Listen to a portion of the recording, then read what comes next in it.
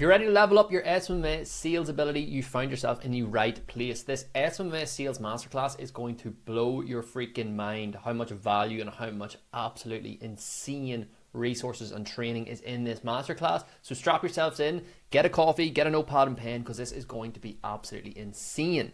So, sales. It is the name of the game in SMMA. You can book all the sales meetings in the world. You can book all the meetings, all the sales calls. If you cannot close a prospect, you can take a prospect from not knowing you to paying you for your service, if you're not able to do that, then you can book all the meetings in the world. It does not matter. And I'm going to show you step by step how to do that, how to get your sales percentage, how to get your closing percentage as high as possible in this masterclass. So let's get straight into it. So what we're going to cover, we're going to cover meeting preparation. So what you do before the call to prepare the meeting, to put the foundations in place, to give yourself the best possibility, the best chance to close in the first place. Super important and something people forget about all the time. Then we're going to look at the sales call script. I'm going to walk you through the step by step script that's closed over 250 clients for my agency. Then we're going to look at sales psychology, super important. Psychology is so, so important in sales because ultimately sales is all about psychology. You're trying to reframe and reset someone's mindset from not wanting to pay you to paying you. So, really, really important. Then we're going to look at what we do and what we say to secure the close. And then we're going to look at sales principles. What principles, what foundations do we need to have in place for every single sales calls in order to be successful? Then we're going to look at building our answer vault. You're going to get asked questions, common questions all the time, and we want to create an answer vault where we have really, really polished, clean, and effective answers for those questions. Then we're going to look at the big one objection handling. In sales, you're going to have four main objections. You're going to have price objection, you're going to have a fear objection, you're going to have a partner objection, and you're going to have a time objection. We're going to go through each four of them in super detail, and I'm going to give you all the answers and all the reframing and resetting and diffusing scripts and templates in order to absolutely kill it with objection handling. And then price objection, which is the most common objection in the agency space, has its own lesson, and I go into that in even more detail. Then we're going to look at how you onboard a client once you get the close, and then we're going to look at how we set up Calendly to make sure we have the right questions in place, to make sure we have the right reminders set up, to make sure we have a confirmation page set up. All of these really, really important things to make sure people actually show up on your calls. Super, super important. But first and foremost, before we actually get into it, who am I? I don't want to spend too much time on this because this sales masterclass is about you and improving your sales ability. I want to give you as much value as possible, but it's important you know who you're learning from. So, who am I? Back in 2021, I started my SMMA in my parents' bedroom. So, just three, four years ago, not a very long time at all. And ever since, I have been obsessed with growing it. I'm very, very passionate about the agency model. I'm very passionate about how well you can do with it, the opportunity out there and I've been obsessed with growing my agency ever since I started it, and I've come a long way.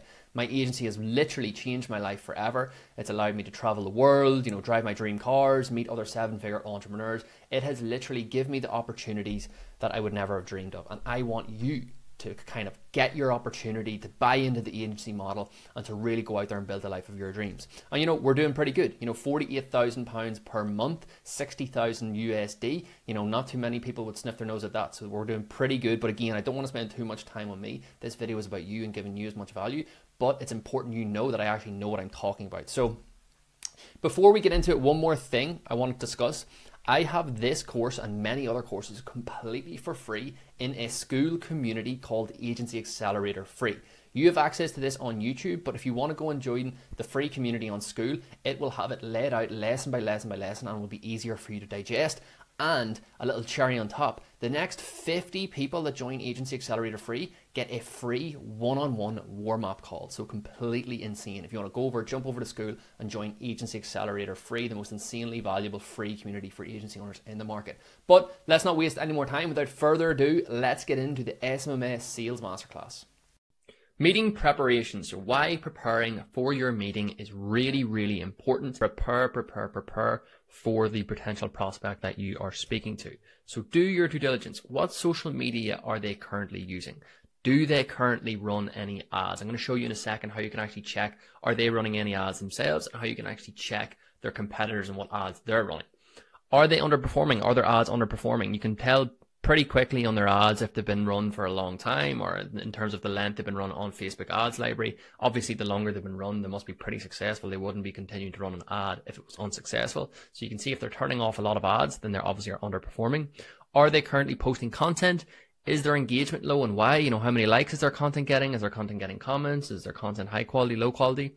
Do they have any competitors? This is super, super important because you can check if maybe some competitors are running some really successful ads and you can put that into a presentation or put that into a few slides and show the potential prospect on a call. You can say, look, this is the kind of direction we're going to go in. This is your competitor in X location and they're running these ads. We think these could work really, really well. And then what areas you think you could help them with. Really, really important. You write down every single one of these questions and have an answer for them to propose and to present to the client on a call. So Facebook ads library. I'm sure you all have aware of Facebook ads library, but anybody who doesn't, Facebook legally have to show exactly what ads every single company is running. So you can go right up to Gymshark, one of the biggest e-com brands in the world, or you can go to a local brick and mortar company and you can see exactly what ad they're using, what type of copy they're using, um, how long the ad's been running for. It's actually a bit of a cheat code and it's insanely powerful. So use this to look up the current company that you're speaking to. Use this to look up their competitors. Use this to create a few foundational solid ads that you could say, look, this is where we want to go. This is the kind of creative we're thinking of. This is the kind of copy we're thinking of and really, really do your research on this. This is kind of addictive. I love going on ads library and just kind of being nosy and seeing what kind of ads other businesses are using. It's really, really powerful. So make sure to make a note of that and use Facebook ads library. Write everything down. Have all of their key pieces of information written down on your notepad ready for the meeting. So when you're discussing the project with the potential client, you can say things like, I noticed your competitor DP Supplements is posting this type of content and their audience is engaging with it really, really well.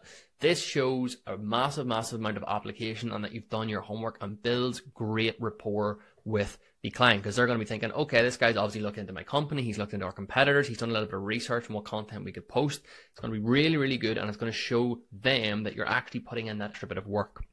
Play to the crowd. Be very conscious of who you're speaking to. How you deal with an insurance company is going to be very, very different to how you deal with a fashion brand. Read that again how you deal with an insurance company is going to be very, very different to how you deal with a fashion brand. So obviously, if you're speaking to an insurance company, it's going to be a lot more corporate. It's going to be a lot more commercial, you know, a little bit uptight. You're going to have to be a little bit more careful about what you say. Whereas if you're speaking to a fashion brand, they're probably a little bit more laid back. Like the company culture of a fashion brand is going to be laid back. You can maybe be yourself a little bit more. You can crack jokes, build rapport. So be very, very conscious of who you're speaking to what industry they're in and what type of person and what type of business they run. This is something you'll get better at as you grow your agency, but be very aware of this before the call. Your mannerisms and your rapport will be very, very different depending on the niche, depending on the company. Zoom. So all of our meetings are held on Zoom, and that obviously was discussed in the software stack and the tools and softwares lesson. However, we need to prepare Zoom for our sales meetings. So make sure you have your name on your Zoom account Make sure you have a professional picture. This can be a selfie or whatever. It could be your agency logo. It was my agency logo on my Zoom account for years. Make sure that your background is professional. You know, if you're hopping on a sales call with a potential prospect, don't have your background be like your bed with all like your dirty laundry like all over the room. You can blur your background on Zoom, but make sure your background is very presentable. It's so, so important. You don't want a very unprofessional background. You're going to lose credibility. You're going to lose authority and the company is not going to take you seriously. Make sure you have screen sharing enabled because there's nothing worse if you're hopping on a call and you can't share your screen and you're like messing around with your keyboard and you're trying to get up your presentation. Maybe you share the wrong screen. Doesn't look good. So make sure you have screen sharing enabled and make sure you have all of that set up pre the call. Make sure there will be zero interruptions for the duration of the call. So this goes back to the mindset module on uh, kind of like your workspace, your setup. Make sure you are somewhere where you're not going to be interrupted. What do you think is going to happen if you're in the middle of a sales call and your mom or your dad comes in the back and it's like messing around your room or is calling you for dinner? Super unprofessional. You're going to lose all credibility. You're going to lose all authority. Make sure you're in a room with zero interruptions for the total duration of the call. This is really, really important that you have absolutely zero interruptions. Have a notepad and pen beside your laptop. Be constantly taking notes on what the client is saying, what the prospect is saying, their pain points, where they want to get to, their goals. Be constantly taking notes on this. This is really, really important. And you can actually tell them that on the call if you're looking down at your notepad and pen and kind of looks like maybe you're not listening to them. Just look up and say, look, John, just so you know, I'm taking notes here in case you think I'm not listening to you. I'm still listening. I'm just taking notes. So that is Zoom. Make sure all of that is prepared and ready for the call. Really, really important. Look, it's as simple as this, guys. If you don't prepare for sales calls, you're not going to do as well as someone who does prepare for sales calls. Sales calls are the bread and butter of your agency. You need to put yourself in the position to do as well as possible. You need to put the foundations in to do as well as possible, especially at the start when you're not going to be as confident, when you're not going to be as charismatic, when you don't have your objection handling nailed in, when you don't have everything dialed in. You need to really make up for that in your prep. Your prep is super important. So you really need to have it dialed in. All of the things in this lesson are super, super important. Make sure you do each and every single one of them. Take notes, write it down, learn this, have it dialed in. I'll see you in the next lesson. What's going on everyone and welcome to this lesson on sales call structure. In this lesson I'll be taking you through the exact sales script I used along clients in my agency, how to structure your calls, how to sell to clients emotionally and logically, and a few tips and tricks on how I get my conversion rate as high as possible. So, in part one, we're going to build rapport. We're going to warm up the call. So, when we get on the call with a potential client, we don't want to go straight in with sales. They won't like that very much. You got to warm them up a little bit, ask them how they're doing, how's their morning going, you know, refer to where they are, say you've heard great things about their area, city, state, maybe something about the weather, and just come across as enthusiastic and as friendly as possible. If we go down to part two, then setting up the call and taking control, we'll say something like, okay, great, let's jump right into the call. So, whatever their name is. How this call will go is I will start off by asking you some questions about your business goals and any other challenges you're having. Then we can determine if it sounds like we're a good fit and we can work together coming towards the end of the call. I do this by asking a few questions about you, your business, what you've previously done, what you want to do in the future, and ultimately what you're looking to accomplish or get help with. Then, if it seems like we're a good fit, I can explain what we do, how it works, and I'll let you know either way, you'll get some value out of today's call. Now, you don't have to sit and read this like a robot. Obviously, it's a very fluid thing. You can just, you know, you can riff off it, or if you want to read it off by heart, you know, that's what you can do. Usually, when I'm on a sales call, I will have my Zoom open on half the screen, and I will have my script over here like this. So this will be my script and this will be my Zoom call. So I'm facing the computer and it looks to the client like I'm looking right at them, but I'm looking at the script, which is keeping me right and telling me what to say and when to say it. So we'll bring that back out like this and we will go to part three. Find your prospects why. So this brings back to the emotive selling that we discussed in previous lessons. So clients buy on 80% emotion and 20% logic. So we'll say things like, so tell me what you think your biggest motivation was for taking the time out today for scheduling this call with me. And they'll say things like, you know, I'm trying to get my business more revenue. I'm being worked to the bone. I've got no time to do marketing. And then you ask questions like, why do you believe you're experiencing this? Why is this important to you? What have you done previously to try and fix this? How long has this been going on? And all these different questions. And what we're doing is trying to strip away and get to the client's why. You know, why do they really want this? We're going to strip it back and back and back as much as we can and bring out as much emotion as possible. For part four, it's called the assessment. So we've brought out the emotion, we've stripped the client back and back and back, and we've built a little bit of rapport. So now we're going to slowly edge towards logic. So we're going to ask them to give a brief rundown of the business. And if they don't give it in their brief rundown, you can ask things like what are they selling? How are they getting their customers?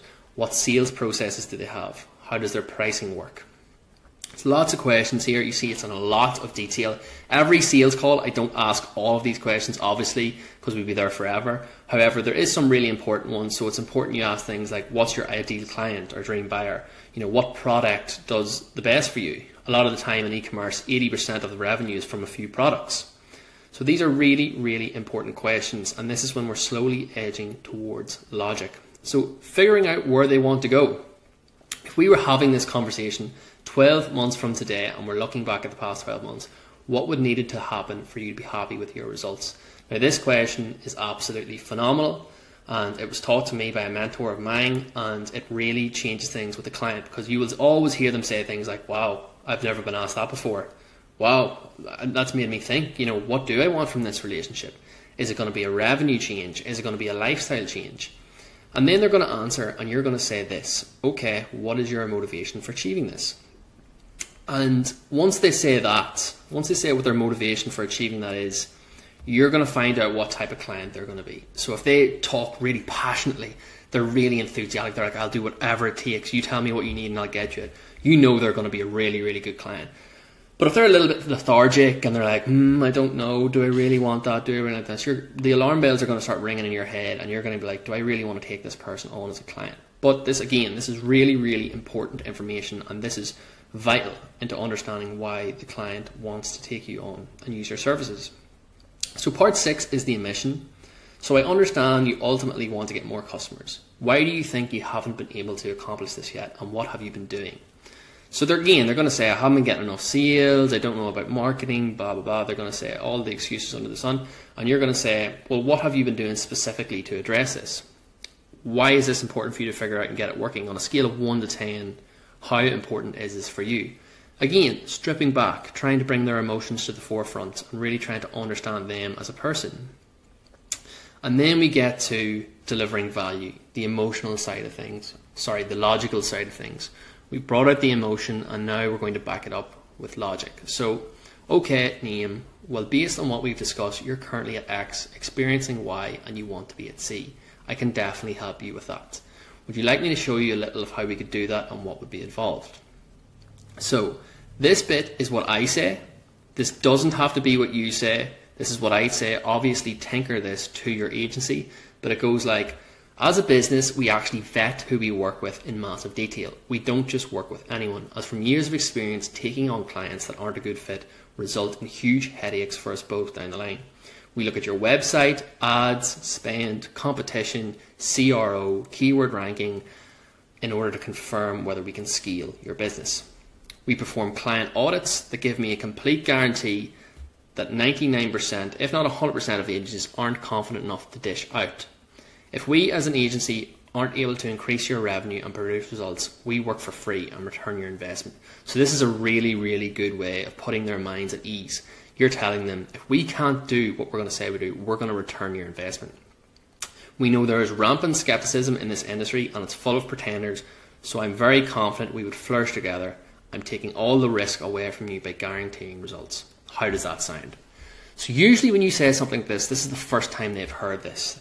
They're like, this guy is going to work, and if he doesn't do what he's going to say, he's going to give me the money back. They're going to feel very, very comfortable and they're going to trust you because you're offering them a fantastic service. So, part eight, getting commitment. You're going to ask them how they enjoyed that.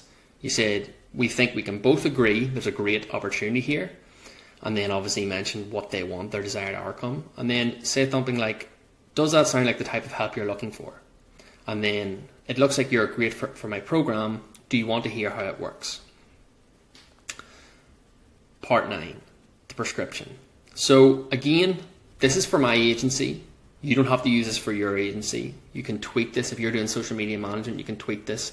But I say we launch innovative and hyper targeted social media ad campaigns that truly resonate with your ideal customer to grow your business for the long term. We do away with the inefficiencies that plague other agencies.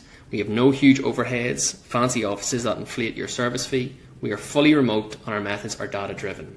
We focus on one thing paid ads. And the platforms we offer are Facebook, Instagram, Google, Snapchat, TikTok, LinkedIn, YouTube. And then you go on to mention, you say there's a full done for you service on advertising platforms depending on your preference. We can have as much contact or as little contact. Every business owner is different. In terms of what's included, campaign research, setup, optimization, scaling, reporting, and all communication is done on Slack via Looms. If we work together, you'll have predictability in your business, more time, more money, less stress, greater freedom, and increased security. So again, we're selling logically, but we're coming back to that emotional brain where we're bringing that in to what they want. Then part 10, temperature check. Okay, Niam, based on what we've discussed, why do you feel you would be a good fit for this program? Now, this is a really, really important question. We're sort of turning it back on them. You know, why do you think you should work with me? A lot of the time agency owners are begging clients for their service. You know, we want your retainer. Come on, please work with me. But this is turning it back on the client. You know, why should I work with you? You know, sell yourself to me. And then all, you the client will all of a sudden start being like, oh, well, we have this revenue, we have this great product, we have this great content. And it turns the whole situation around.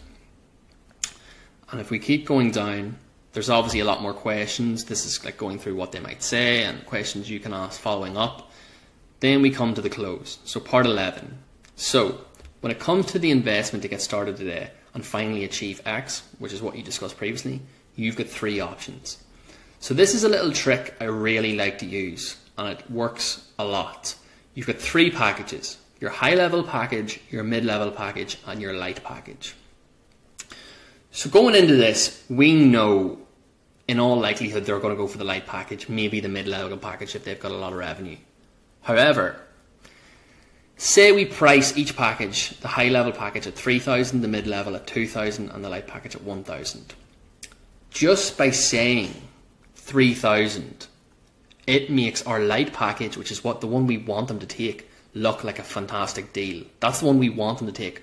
But by saying this high level package, Facebook ads, Google ads, TikTok ads, social media management, at 3000, even though we know they're most likely not going to take that, it makes our light and mid level package look like a really good deal.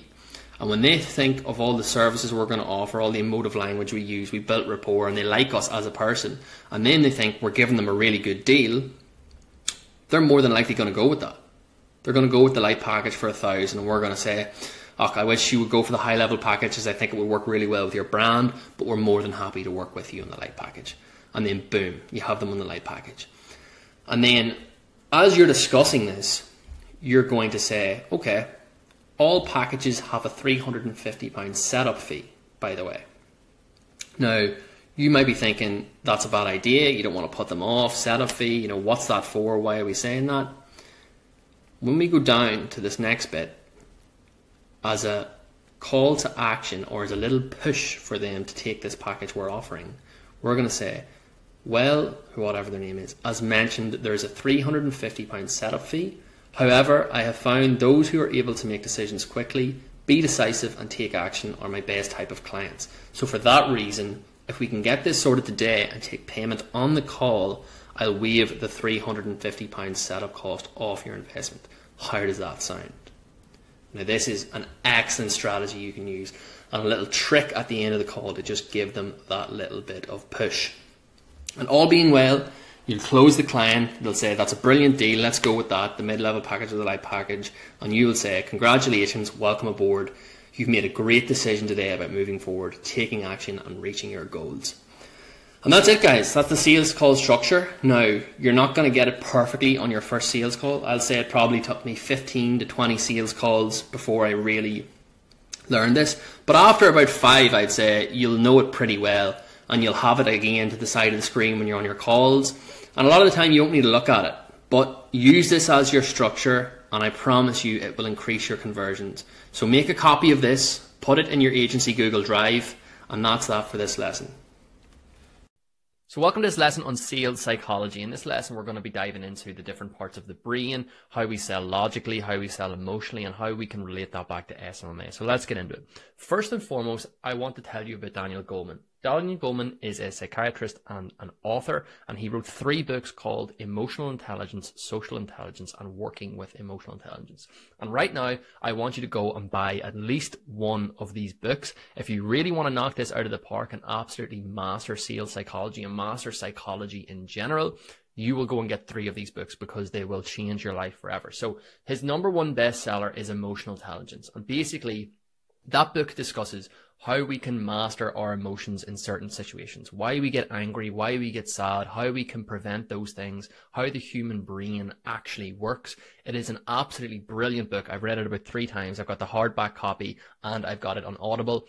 It's a phenomenal book and it really, really opens up your eyes to how the brain works, how emotions work, and how actually being emotionally intelligent is one of the most important traits in life, let alone business. It is so, so important. Then he followed it up with a book called Social Intelligence, which is essentially how to use emotional intelligence in social situations. So with your family or with your friends or whoever it may be, when your friend annoys you or says something, or your sister annoys you or your brother annoys you, how to deal with that situation, what actual chemicals and what actual processes are going on in your brain to allow those things to happen. It's a phenomenal book and really, really is brilliant, not only for learning how to deal with people in certain situations, but also learning how to deal with family dynamics, friend dynamics, and really, really maturing you and helping you understand how the brain works. And then finally, almost perfectly intertwining into what we're talking about here. He relates it to business, so working with emotional intelligence. And you can see there the New York Times. Anyone interested in leadership should get a copy of this book. So in this book, it's more how to use emotional intelligence for leadership, how to use emotional intelligence in the workspace, how to use emotional intelligence with colleagues, with uh, staff members, with managers, with whoever it may be. Really, really great book. And these books are a phenomenal foundation for sales because it helps you understand how the human mind actually works and how we can sell emotionally, how can we can pull on people's heartstrings to increase our conversions and how we can really, really strategically learn how the brain works and feed that into our sales psychology, feed that into our sales strategy and feed that into how we actually conduct our sales calls. Really really good stuff. I would really recommend going getting all three of these if you can if not, go and get Emotional Intelligence. You can pick it up in a bookstore for like $10. It's one of the most famous books around on, on the psychology. It's absolutely brilliant. If anything, you learn how the brain works, which I guess we should probably know more about seeing how important it is. So, the brain. The brain is made up of three different parts. The primal brain, which is responsible for heart rate, impulses, survival. You know, you've probably heard of fight or flight mode. That is the primal brain. Then you've got the limbic system, which is responsible for emotions. And we're going to get into a little bit of how that is important. And then we have gray matter, which is responsible for logic. When we're selling SMMA services, people buy with emotion. They make decisions with 80% emotion and 20% logic. We must sell to their emotional brain first. So what do I mean by that? If you've ever been on a sales training call with me or if you've ever had a one-to-one coaching call with me, I will be massive on make the prospect like you. If they like you, they are so much more likely to buy from you. It doesn't actually even matter what service you have. Your offer is obviously really, really important, but if they like you, if you build rapport, if you build trust, if you build credibility, if you build authority, they are so much more likely to buy off you. And that's what I mean by people buy with emotions. They are going to tell themselves, this seems like a really nice guy, seems like he knows what he's doing, he's funny, he's smart, he's charismatic, I like this guy. And their emotional brain is going to tell them, I'm going to give this guy a shot, I'm going to pay this guy to run my Facebook ads for my decking company or for my roofing company or for my solar company or whatever it may be. They're making a decision with their emotional brain. 80% emotion and 20% logic. So Say things like, imagine all the doors improved marketing could open up for you. You know, obviously, as we go through the sales call script and the sales call structure, you'll be finding their pain points. You'll be finding why they're even on the call in the first place. And a lot of that is going to be, we don't have enough sales. You know, our pipeline is a roller coaster. It's good one month, it's bad the next month. We've no leads on autopilot. You know, I'm sick doing this and chasing my sales team and, and having to worry about sales. And you're going to say to them, imagine all the doors improved marketing could open up for you. You know, we could have your lead gen on autopilot. You could have a conveyor belt of high quality leads and high quality sales coming in every single month. That's going to free up you. You're going to sleep better. You're going to have improved family life, which leads into the next one. Imagine all the extra free time you're going to have you know, with these leads on autopilot, you're going to have so much extra free time. You're going to be able to spend more time with your family. You're going to be able to maybe take Mondays and Fridays off. You're going to have more money coming in. You're going to be stress free. You're going to feel better. You're going to have more energy. All of this stuff is we're pulling on their emotional heartstrings. We're showing them what they could have. Really, really important. Imagine the feeling of growing and expanding your business. You know, you've been stuck on 100k revenue or 500k revenue for the last five years. Imagine that feeling when that gets up to six, seven, or even a one million plus. Imagine how you and your family are going to feel. You're going to feel great. You're going to have a great sense of fulfillment, a great sense of enjoyment, happiness. Imagine spending more time with your family and children. This is a really, really important one. You know, obviously, if you stick to the sales structure that we discussed in a previous lesson, you're going to be asking them about their family life, about their children, about why they actually run a business, all of this good stuff. And you are really going to sell the dream of, you know, once we get all these leads and sales on autopilot, you're going to have so much more time, money, and resources to spend on your family. It's going to be great. You're going to absolutely love it. Your life is going to change. Again, pulling on their emotional heartstrings, you really have to dig into their emotions and show them what their business could look like, what their life could look like, what they could look like as an entrepreneur, as a person. Really, really important. Once we spike their emotion, we back it up with logic. So remember, 80% emotion, 20% logic. Really, really important. Remember that we're going to spike their emotion and then we're going to back it up with logic. And we do this on the sales call by digging into their emotions, digging into their pain points at the start of the call. And then as we go out throughout the call, we show them things like your previous results, client testimonials, statistics backing up the power of social media, break down exact ROIs, average ROI in your industry, etc., etc.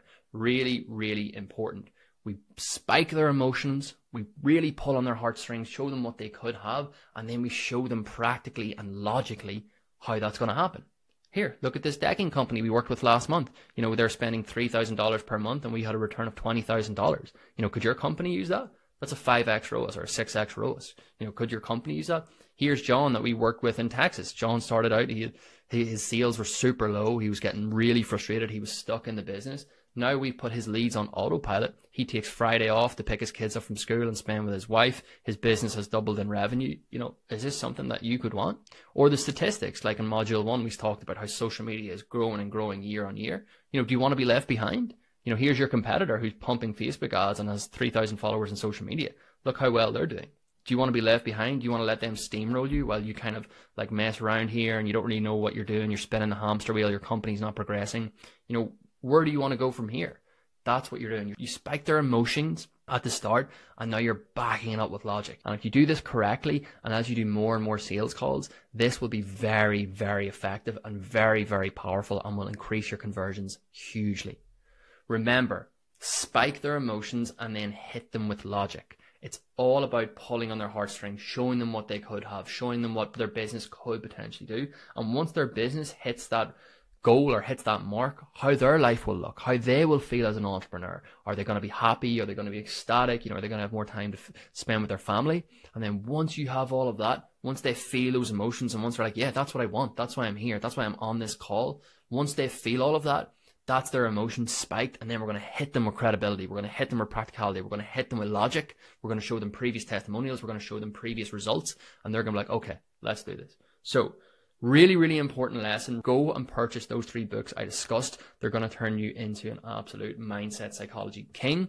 And remember, we're spiking emotions and then backing up with logic. See you in the next lesson. So securing the close on the call. In this lesson, we're going to be talking about why it's really, really important to strike while the iron's hot. And if we have a client that we think we have a really good rapport with, that we think will be a really, really good fit, and they're just on the fence, how we can put the hammer down and secure them there and then on the call. So securing the close on the call, the best way to secure a client is to close them on that initial call. We want to strike while the iron is hot, and we want to be pushier rather than soft selling them.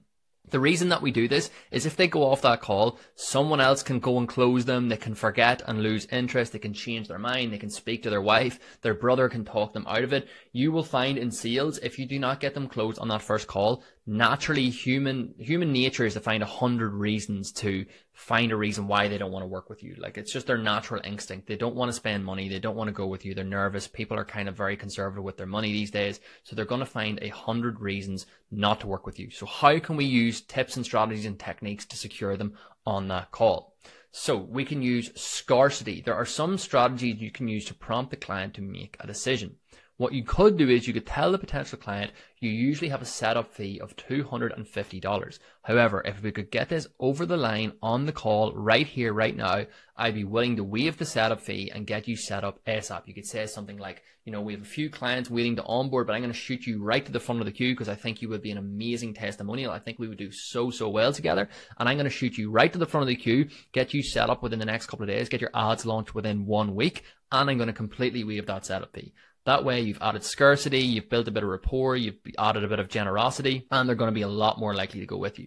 You could also tell the potential client you only have a few spots left before you're at full capacity. So you could tell the client, you know, I only work with 10 prospects or 10 clients at one time. Us as an agency, we put huge, huge value on the quality of clients as opposed to quantity. And we find that 10 clients is actually our sweet spot. So when we add a couple more clients in, we're pretty much going to close up shop and we're not going to be bringing on anyone. So you really need to get in now if you want to get a chance to work with us. That's again adding scarcity.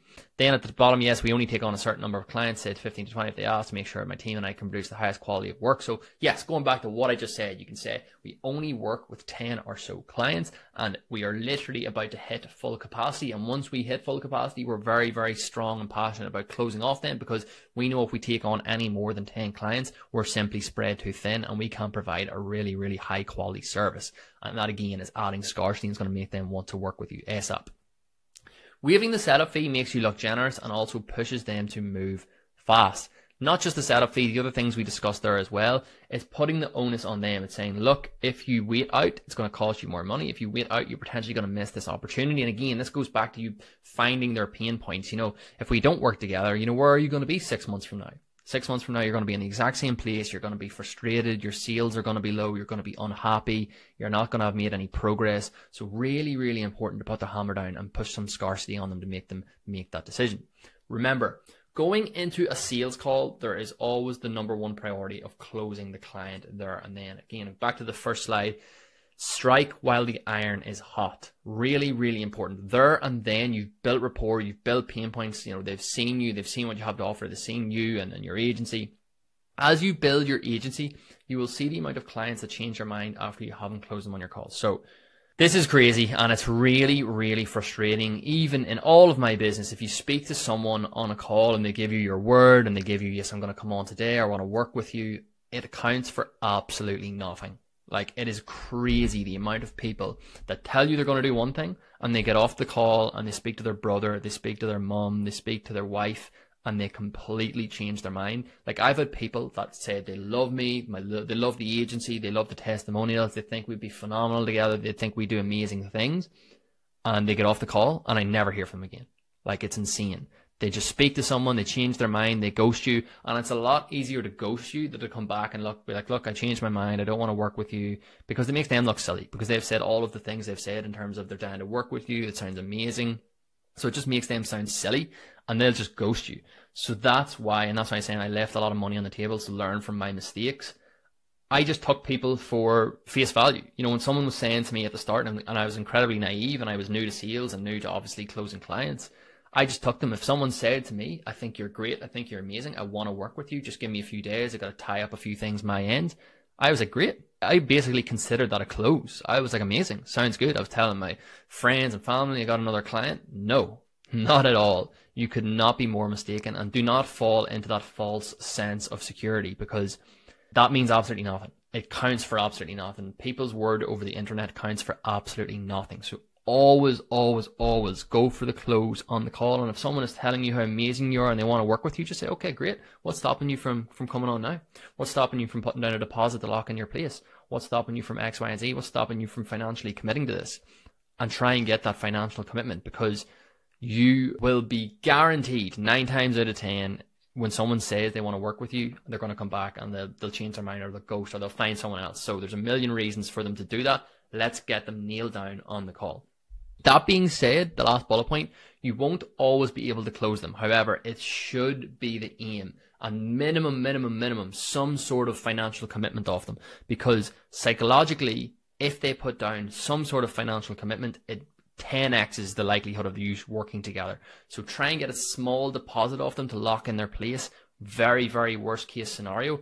And like literally the last, last line of defense is you get them booked in for another call. If you can't get any financial commitment off them, you get them booked in for another call. That means you've something in the diary, they've committed to another call, and you at least have that.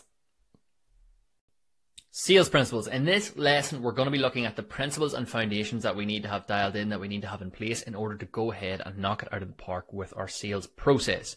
So, we need to utilize silence after asking a question to let prospects speak freely. We don't want to keep jumping in and jumping in on prospects and asking left, right, and center. We really, really want to use silence as an asset and allow prospects to reveal more about themselves and their situation.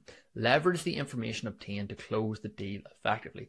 You would be absolutely shocked at the amount of information and at the amount of like private confidential information the prospects will tell you. If you just sit there and listen and allow them to speak freely, you'll be absolutely shocked at the amount of information they will reveal. And you can use that as assets, you can use it as leverage, you can use it as ammunition come towards the end of the sales call against that prospect.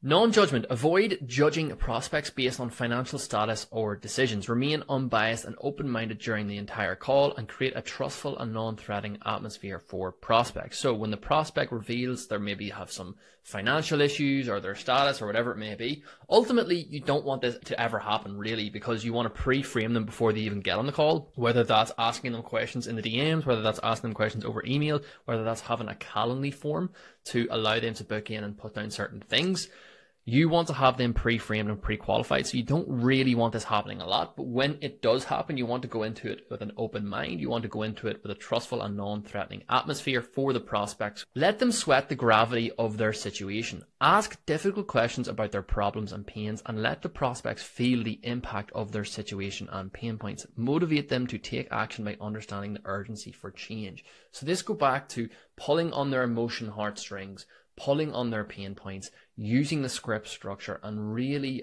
getting a very, very good feel for their situation. Find out what makes them tick. Find out why they started this business in the first place and where they want to get to.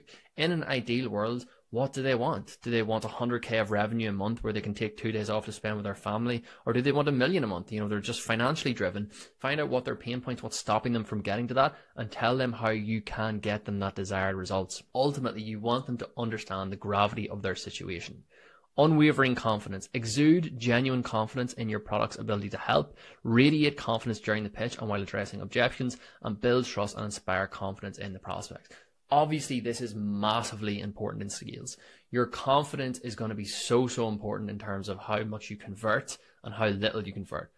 I do understand confidence will come with experience. Like if I think back to my first couple of sales calls, I was very nervous. You know, I probably didn't prepare as much as I wanted, but I didn't have all of these resources that I'm giving to you. So you have all of the resources and tools in front of you ultimately confidence will build and build and build as you take more sales calls, as you get more experience, as you get some more closes, as you run a business and grow as an entrepreneur. But you need to do your best to exude genuine confidence from the start. This is so, so important for your conversions.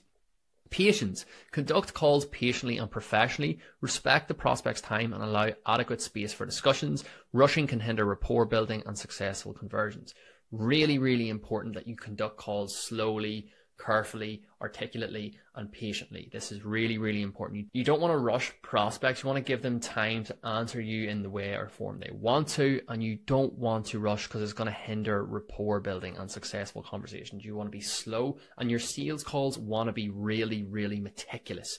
We don't want any room for fluff or we don't want any room for small talk, but we do want to be very, very meticulous and very, very slow about what direction we're going down and what we're asking prospects. So that's what I mean by patience.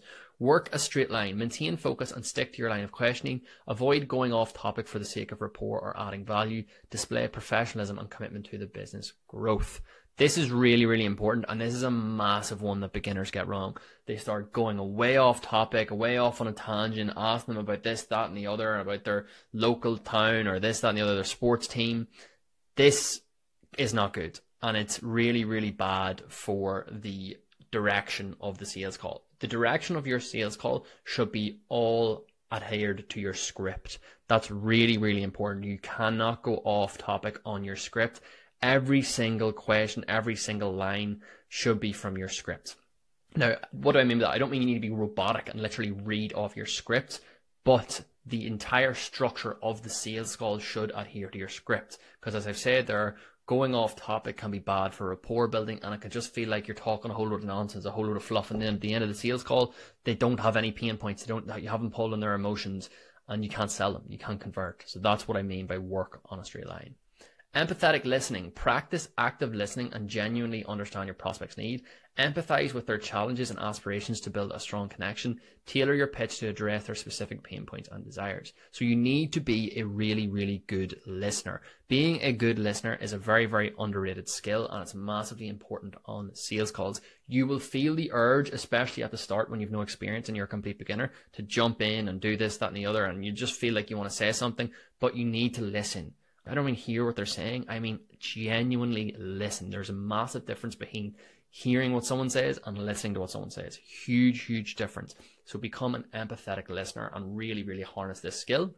Authority positioning. So establish yourself as an authority in your niche or industry. Share success stories, credentials, or achievements to build credibility. Convey confidence in your expertise to instill trust in your prospects. So I would actually be of the opinion that this needs to be done before the sales call. It is related to the sales call because it builds credibility.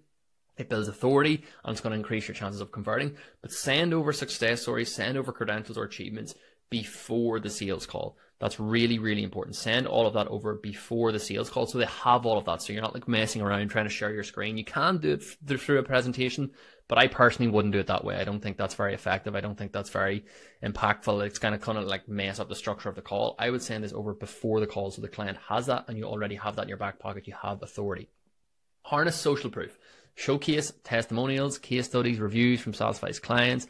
Highlight your agency's track record of success to reinforce your credibility. Use social proof to overcome objections and increase your prospects' confidence. So ultimately with social proof, what we're going to try and do with that is prevent any objections. The best objection handling technique is to prevent them in the first place. So how do we do that? We use rapport building, we find their pain points, we pull in their emotions, we use logical selling, and we send them social proof. So if we can do that, usually they shouldn't have any objections if you're doing this correctly, if you're doing this properly. However, if at the end of the sales call they do have some objections, just show them a few case studies, show them a few testimonials that completely contradict what they're saying, and show them the results, show them what they're after, show them how John tripled his business and is able to take a few days off per week, or whoever, Tim, you know, quadrupled his business, blah, blah, blah. Show them a case study that's going to contradict any of their objections.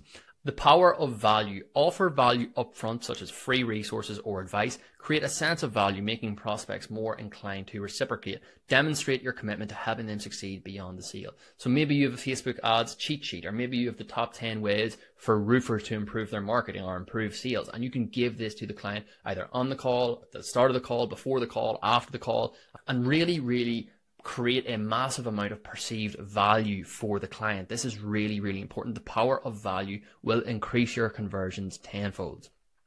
Navigating objections with grace. We're going to get into this in future lessons and how we can actually navigate objections and like objection handling is a beast in of itself and we're going to get into that in great, great detail, but anticipate common rejections and prepare thoughtful responses. Address objections with empathy and provide reassuring solutions and turn objections into opportunities to strengthen your pitch. So what do I mean by that? Like let's say they say, you know, they ask you a question or I've been burned with agencies in the past or I'm not quite ready to move forward. You could say, look, I'm glad you've said that and then go into your objection and use that actually as an asset to create more rapport, to create more authority and show them that you're the real deal. So you can actually turn objections into really, really positive responses. And we're going to get into that in later lessons. And then finally, the art of closing. Master various closing techniques, hard sales, soft sales, such as assumptive close or trial closes. Tailor your closing approach to fit the prospect's communication style. Be confident and direct and asking for the sale. Leave no room for uncertainty. So again, we're going to get into this in future lessons, but master the art of closing. Have a lot of feathers in your cap in terms of how you can close a person and become an absolute killer savage salesperson. I'll see you in the next lesson. Building your answer vault. So in this lesson, we're going to be discussing why you need to build up your answers. You're going to be asked difficult questions on sales calls, especially at the start when you've, you know, you don't, you're not going to have as much experience as you will down the line, and you're not going to be able to answer questions proficiently, articulately, and correctly. And um, so we are going to build an answer vault whilst we're doing our sales calls. I'm obviously going to give you a lot of ammunition. I'm going to give you a lot of answers. I'm going to give you a lot of teachings and future lessons on what to say in these scenarios. But it is a really, really good rule of thumb to build your answer vault while you are doing the sales call. So that's going to do it.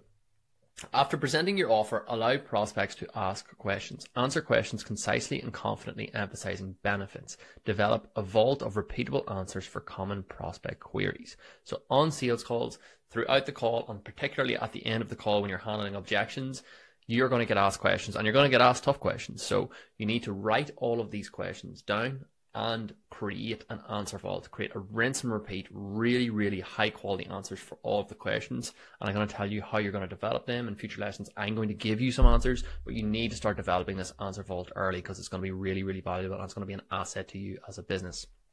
Be concise and on point. Avoid tangents or unrelated information. Stick to the core of their question for clarity. There's nothing worse than when you're on a call with someone and they're rambling and they're giving you a load of fluff and you're just like, what is this person talking about? Be concise and on point. Do not go off on crazy tangents as you're going to lose interest from the prospect. Answer with confidence. Begin with positive affirmations like awesome question or great question. Exude confidence in your response to build trust. So if someone asks you a question like how many clients are you currently working with or what's the best results you've got in the past, hit them with some positivity first. Really glad you asked that, John. Great question. And I can't wait to get into it. So, and then get into the answer. Really, really positive, exudes confidence and puts it back on them. You know, I'm actually really happy you, you answered that question because remember, when they ask you a question, that is giving you an opportunity to build rapport. That is giving you an opportunity to build authority and really knock it out of the park with your answer. So remember that. Avoid vagueness. Strike a balance between providing details and staying focused. Don't get lost in the moment, but offer enough information to satisfy their curiosity. So this is going back to the previous point. They're quite similar. Do not waffle. Do not hit them with a load of fluff. Avoid vagueness. Be super concise and strike a balance between super detail oriented and staying focused. After answering, listen. Allow prospects to process the response. Be attentive to their reactions and readiness to continue. So we touched on this in previous lessons. Listening is such a slept on skill and it's so, so important. You will not believe what people will tell you if you simply sit there and listen. So bear that in mind when you're on sales calls. Put huge, huge emphasis on being a really, really good listener, a high quality listener, because you won't believe what prospects will tell you. Understanding prospect intentions. Realize the questions are either confirmations of buying decisions or potential doubts. Preemptively address questions to reinforce confidence. So this will go, we'll go into this in the objection handling lesson, but the best way that you can answer someone's question or the, the best answer to someone's negative question or doubtful question or asking you a question, maybe trying to catch you out is to avoid that question in the first place. And how do we do that? We build rapport, we build authority, we dig into their pain points, and we try and cover everything on sales call to avoid any tough questions, to avoid any tricky questions in the first place. Example, do you use Facebook ads? Or how do you use Facebook ads? Or explain Facebook ads to me. This is a common question because a lot of the prospects you might be speaking to maybe haven't used Facebook ads before. So they're going to ask you a lot of questions around how do Facebook ads work? You know, what are you doing day to day? And, you know, can you tell me a little bit how the process works? How you could answer that is, that's actually a really good question. We've extensively tested various advertising methods and consistently found that Facebook ads deliver the best profitability for our clients. We've honed our expertise in this area and achieved remarkable results. Many businesses have faced challenges with Facebook ads, but we've mastered the art of making them work for reals. That's how it works, and that's how it's going to benefit you and your business. So there you go. That is a great answer if they ask you a tricky question around Facebook ads, and you should have that in your answer vault. You can take that one, I don't care, take that answer, put it in your answer vault, and when anyone asks you a tricky question around Facebook ads, you hit them with that answer, and that will really impress them and bring across that you're an authority and expert in your area. Loop every answer back to how it helps the prospect achieve their outcome. Answers should build confidence, not doubt. So what do I mean by that? Also, I've highlighted looping because looping is a sales strategy you will hear me talk about in future lessons and in previous lessons. Looping is really, really important in sales. We'll get into that a little bit later. But what do I mean by this? Reiterate. Loop every answer back to how it helps the prospect achieve their outcome. It should always be pulling on the prospect's pain points, pulling on the prospect's heartstrings. What have we talked about previous in the call? Have we got their pain points and have we used that as ammunition when they ask us tricky questions? That's what I mean by that. Answers should build confidence, not doubt. If you are answering in a really nervous way where you haven't got a pre-prepared answer or you're just all over the place, it's going to build doubt and they're not going to want to partner with you for their marketing. They're not going to have confidence in you. So that's what I mean. Answers should build confidence, not doubt. Objection handling fundamentals, super, super important for sales. And this is going to be a really, really exciting lesson for anyone that doesn't have sales experience. If you do have some sales experience, you will know some of the key terms and some of the teachings here. But I'd say a lot of the people coming into this program and doing this lesson and starting their agency do not have sales experience. And that's where lessons like this, really, really technical training on how to handle objections with potential prospects on calls is going to be super valuable. So let's get into it.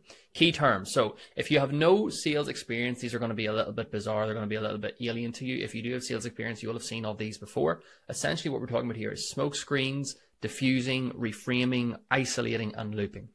So what do I mean when I say smokescreen? Smokescreen essentially means when someone is giving you an objection, but it's BS. They don't actually mean that. They're just saying that to get off the call. So what do I mean by that? So you'll find in SMMA or on a lot of your agency calls, you will get a financial objection. They'll say, oh, I can't afford your services, a little bit expensive for us right now, or whatever they're going to say. That is simply BS because they want to get off the call. And what, what do people say when they want to get out of a situation? Oh, I can't afford it or I have no money. But in reality, they're actually skeptical. They're fearful. They've had a, a negative experience with an agency in the past, or you just haven't sold them. They're not convinced on you um, on the sales call. You haven't built enough rapport, you haven't built enough authority, so they're going to give you a smokescreen objection to get off that call, and you need to really analyze that and isolate that. We're going to get into that later. You want to diffuse the situation. So once they give you that objection, you want to completely diffuse the situation. You want to come down to their level, and you want to take all the steam and intensity out of the conversation and really just diffuse everything and bring down the situation. Then you want to reframe. You want to reframe their mindset. You want to reframe the way they think because currently they think a certain way, and that's why they don't want to go with you. That's why they're they're saying what they're saying. That's why they're giving you the isolation that they're giving you. Their mindset is currently in a certain place, and you need to take it out of that place and get it where you want in order to close them. You have isolating. So again, this is very very related to smokescreen and diffusing and reframing. You actually want to isolate what objection they're giving you because if they're giving you a smokescreen objection, you need to find out what their actual problem is. So they're giving you a smokescreen financial objection, then you need to isolate that and find out, okay, is it a partner objection? Is it a time objection? We're going to get into the types of objections, the types of objections in a second, but you need to isolate that and find out what the actual objection is. And then looping. Looping is what we do when we're reframing and we loop around and round and round and show that the, the prospect is actually contradicting themselves in what they're saying and that how our service and working with us is going to be the best thing going forward for them. So that is the key terms, just so you're aware as we go forward in the lesson. Objection types. So with SMMA, there are four main objection types. There are financial objections, there are fear objections, time objections, and partner objections. They're all pretty self-explanatory, but I'll go into a little bit of detail on each now. Financial objection is the most simple one. It simply means they cannot afford their, your services. This shouldn't come up too much because what I'm going to teach you, they shouldn't be on the call with you if they can't afford their services. You will have a Calendly form that qualifies them. So they should not be on the call unless they have funds. Plus, any business that can't afford a few, a, a couple of grand to do marketing shouldn't be on a call with you. Like for a business that has not a lot of money, they should be able to invest that in marketing, especially at the start when you're going to be pricing your services pretty keenly, probably a lot smaller or a lot lower than what they're going to be priced down the line. So this shouldn't really come up much. The next one, fear objection, is going to be the most common one. It's going to allow for probably 80, 90% of your objections. And again, that simply means that they are not convinced you can do what you're telling them you're going to do. They're not convinced by you. You haven't built enough rapport. You haven't built enough authority. They've possibly been burnt by an agency in the past. That's very, very popular because there's so many agencies out there right now that don't know what they're doing. So they will have their guard up and they will be super, super skeptical. And it might take you a while to find out that that's actually the problem. They might give you time objections, financial objections, but really behind all of that is fear objections. And I'm going to show you how you isolate that and really find out what their objection is. But know that fear objections is going to probably be 80% of your objections. People are going to be super, super skeptical. Then we have a time objection. So, you know, maybe it's coming up to Christmas or maybe they're going on vacation. They're going to say to you, look, now isn't the best time. Can we catch up in a month? Can we catch up in two months? I'm going to teach you how you deal with those objections, but that is another objection that possibly will come up. Then you have the partner objection. So they might have a business partner, they might have a wife that they need to, you know, run everything past, and that is something that's come up. You know, they might say something like, "Oh, I need to speak to my wife," or "I need to speak to my business partner. I can't make a decision right now." So again, we can get around that by asking questions on our form or by asking questions in the DMs or email or whoever or however you're booking this call. Like, are you the key decision maker? Can you make a decision on this call? We can get around that so the partner objection doesn't come up that often. However, no, these are the four main objection types you're going to have on your sales calls. So this is the process. So once we drop our offer and we ask them what they think, you're actually not going to ask them what they think. You're just going to drop the offer and go silent. But if you don't close them, they're going to give you an objection. And nine times out of ten, it's going to be a smokescreen objection. They're not going to give you an authentic objection because for one reason or another, people just say what they think they have to say to get off a sales call. So they're not going to give you the, the real objection. So know that. They're going to give you a smokescreen objection. Now, a smokescreen objection can take any form, but all a smokescreen objection means is they are telling you something that isn't true. So they're telling you that they uh, need to think about it. They're telling you that they uh, haven't got time. They're telling you that they can't afford you. They're telling you that they need to think of a wife. They need to speak to their wife. They might even have a wife. They're just telling you something that they think will get them off the call. So what do you do in that instance? You do what's called diffusing. So you completely diffuse the situation. We're going to go into a bit of detail on how to do that now in a second. But you come down to their level and you say, John, I completely understand what you're saying. I do not want you to make a decision you're not comfortable with, or however you're going to say it. You need to completely diffuse the situation. Then we're going to go into how to isolate the objection. So they've just given us a financial objection. I'm going to show you how to isolate that and actually find out is it a fear objection? Is it a time objection? Is it a partner objection? And really get to the bottom on the crux of what's actually holding them back. So that's really, really important. And then we're going to go into reframing. So we want to reframe their mindset. As I said earlier, their mind is in a certain place and we want to get it from X to Y.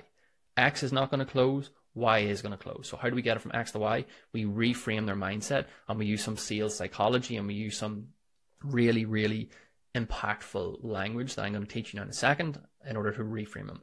And then if the reframe doesn't work, we do what's called looping. And looping and reframing, they're interconnected. So you loop by reframing, but looping is a sales technique where you loop around and around and around. And eventually, if you loop enough times, the prospect will have no choice to say yes because you're just plainly showing them that what they're saying does not make sense. You're psychologically reframing them and showing them that, look, what you're saying does not make sense. If you want to get your business to where you told me you want to get it to, what you're saying makes absolutely no sense. You need to work with us. You know that marketing is the way to take your business forward. And then we're going to get into a lot more detail about how all of that works. But the sales objection handling process is exactly this. It's a five part process, smokescreen, diffuse, isolate, reframe, and loop. So write this down, really, really important. Make sure you learn what these terms mean because I'm going to be talking about them a lot in this lesson and in future lessons. So let's get into more of the details. So smokescreen objections. What form can they take? I need to have a think about things. You know, wishy washy. What does that actually mean? You know, that just means they're not convinced. They're giving you a smokescreen objection. You know, what do they need to think about? You're right in front of them now. If they need to think about something, ask you. You're the person that they need to ask. You know, have a think about things right now know, not sure can we, we can afford you right now. I've highlighted that because that's the one we're going to use and going forward to show you how the process actually works in real time. I need to speak to my wife. Very, very common. You know, these sort of old boomer business owners, they have wives. Their wives are usually partners in the business. They got to speak to their wives before making any big financial decisions. Very, very common. Not the best time for us right now. So again, something that comes up very, very regularly, but it just means that they're just bullshitting you. That, that does not mean it's not, they're on the call for a reason.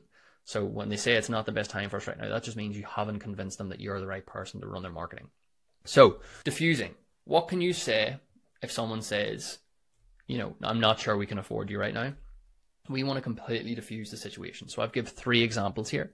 First one, I completely understand, John. Times can be tough, and this has to be the right fit for both of us. So completely bringing it down to his level, telling him you understand is really, really important. So the next one, I absolutely see where you're coming from, John. You need to be very smart with where you allocate your capital. So you're coming across to his side of the table. You appreciate this is a big decision for his business, and you're saying you understand. You're actually saying, you know, he needs to be very smart with where he allocates his capital. So that's going to be really, really good, and it's going to build some rapport for him as well.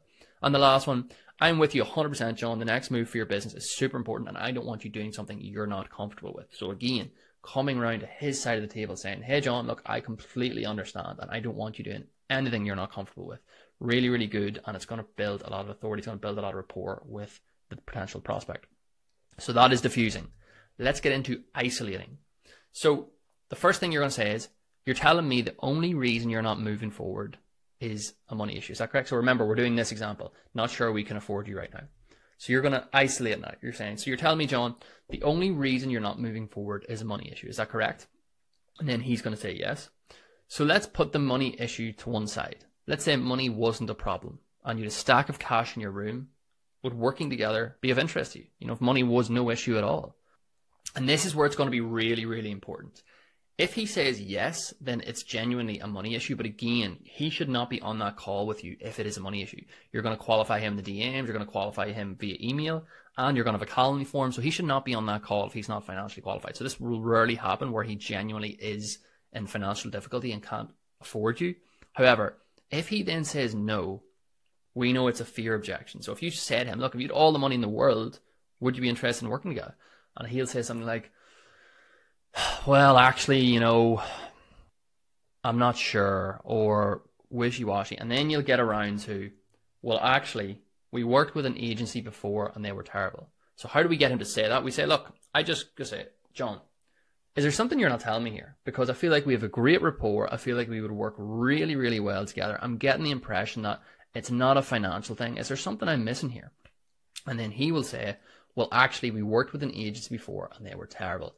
boom, we've just isolated the objection and we found out what the real reason is. We now know it's a fear objection, not a financial or a price objection. Really, really important. And that's how we isolate.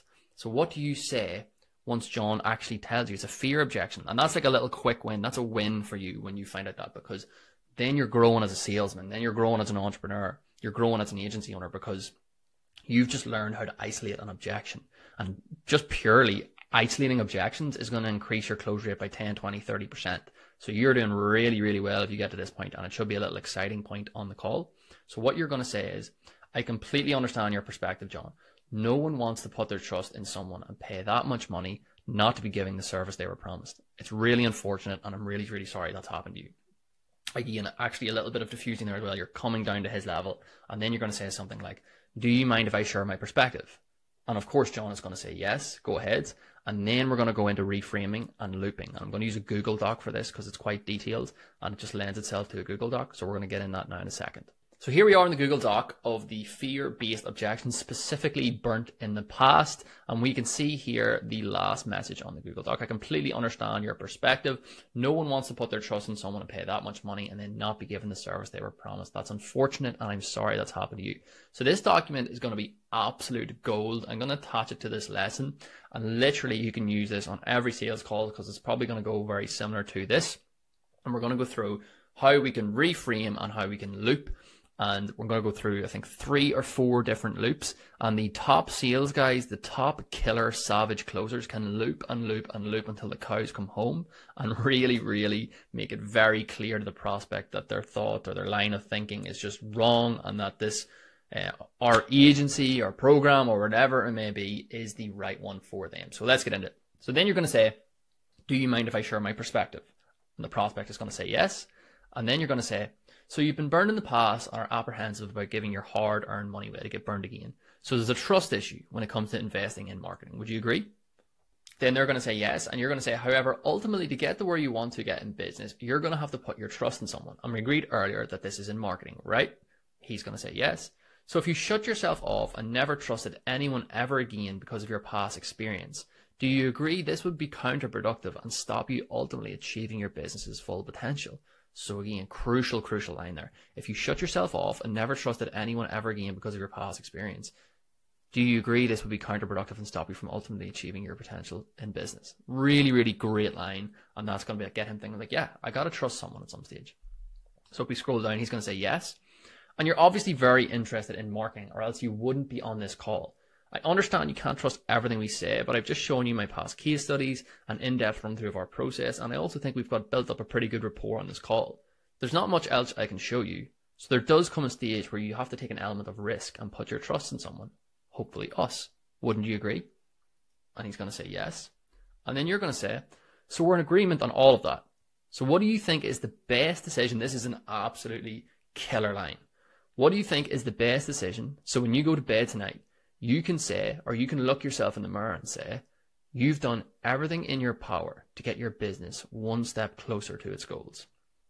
Positive response, okay, where do you want to go from here? And then you go for the close. So what we've just done there is completely reframed his mindset using some sales psychology and also just using some logic. Like he does have to trust someone at some stage in order to get his business to where he wants to get because he wouldn't be on the call if he didn't see the value in marketing. Marketing is how businesses grow. So that's most people are going to be pretty reasonable about that. That's how they're going to grow their business using marketing. So he wouldn't be on this call. So when you reframe using that sales psychology and using that logic, it's going to make complete sense to him. And a lot of the time, this one loop and this one reframe is going to work. However, let's say at, you get to the end, he's like, oh, you know, still blah, blah, blah. It's a lot of risk for my business. We're going to go into loop two. If you still haven't got him on the hook, we're going to go into loop two. If he says, oh, it's, it's just too risky, it's just too risky, I can't do it at this one time. Okay, you're going to say, okay, okay, John, do you mind if I ask you a personal question? How important is it to you that you reach your desired goal? And this goes back to the pain points and the sales call structure and the sales call format in terms of finding his pain points at the start of the call. Really, really important. So he might say to you at the start of the call, I'm sick working, you know, 60, 70 hours a week. I want to take a Friday off. I want to take my family to Disney World or blah, blah, blah. You will need to have had his pain points in your locker as ammunition, as an asset to do this. So you're going to say, how important is it to you that you reach your desired goal? And he's going to say, you know, it's really important. You know, I really want to do it. That's why I'm in business. I want to, I want to reach these goals. And you're going to say, why? You're going to dig into it. Yeah, but tell me why. Like specifically why. He's then going to come back with more detail. And then you're going to say, how much longer are you willing to put it off? And then he's going to say something like, no, not long. You know, as I told you, I'm really committed to this. I really want to do this. I really want to grow my business. And then you're going to say, what do you think is riskier? Putting your business in a position every single day that gets you closer to your goals or not doing anything and in the next three years being in the exact same position or even worse off than you are now? Which one do you think is riskier? And he's going to say, okay, that kind of makes sense. You know, if I keep doing what I'm doing, which is clearly not working, you know, I'm not going to go anywhere. I'm not going to do anything. So I guess what you're saying kind of makes sense. You know, taking action is what makes sense here. Boom. Reframe loop number two. Go in for the close. Okay. Where do you want to go from here, John? And that is our second loop. And you can see here how this can be really, really powerful. Like this is gold. Like this is not only going to be good for your agency, this is going to be good for life. Like if you learn how to reframe people's mindsets and get them thinking to where you want to think. As we said earlier, they're currently in X and you want to get them to Y. So how do we get their mindset from X to Y? And you can see here, like it's it's logical, it's sales psychology, but it is excellent, excellent stuff. Like it is really, really good. And this will work like a treat on your calls.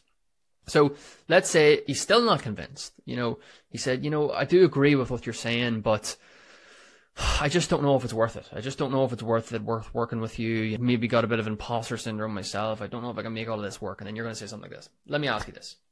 So we've discussed, we have the exact strategy to get you to where you want to be in front of you. Yeah, you agree? You think the strategy would work and you, you think it all sounds good. And he's like, yeah, it sounds good. It sounds good. So right now, with the current decision making process, you're validating where you are right now. Does that make sense?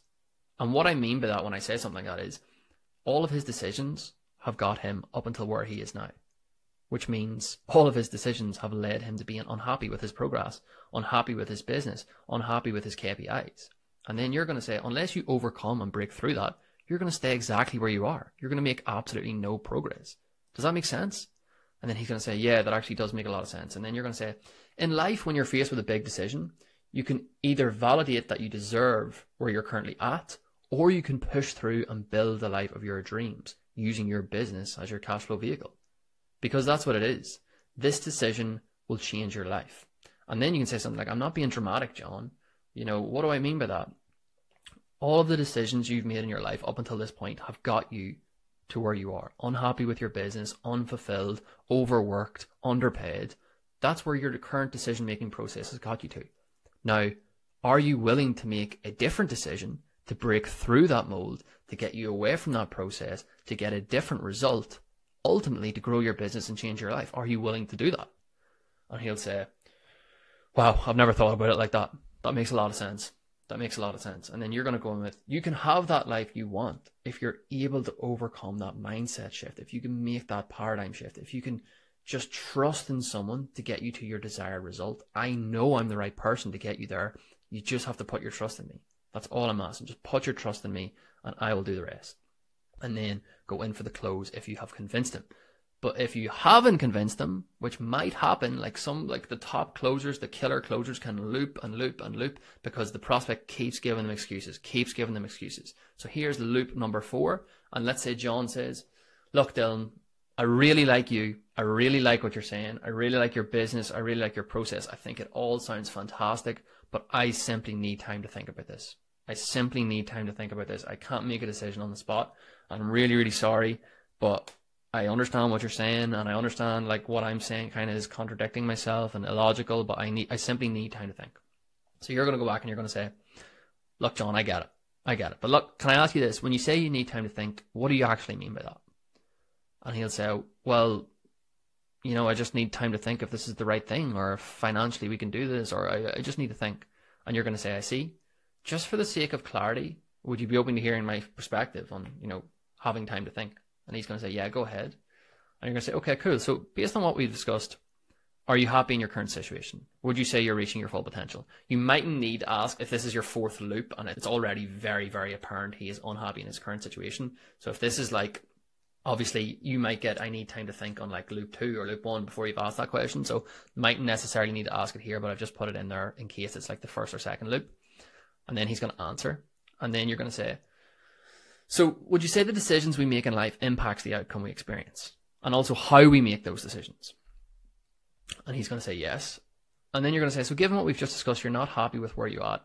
Are you willing to let the same decision making process dictate the results and outcomes you'd receive moving forward?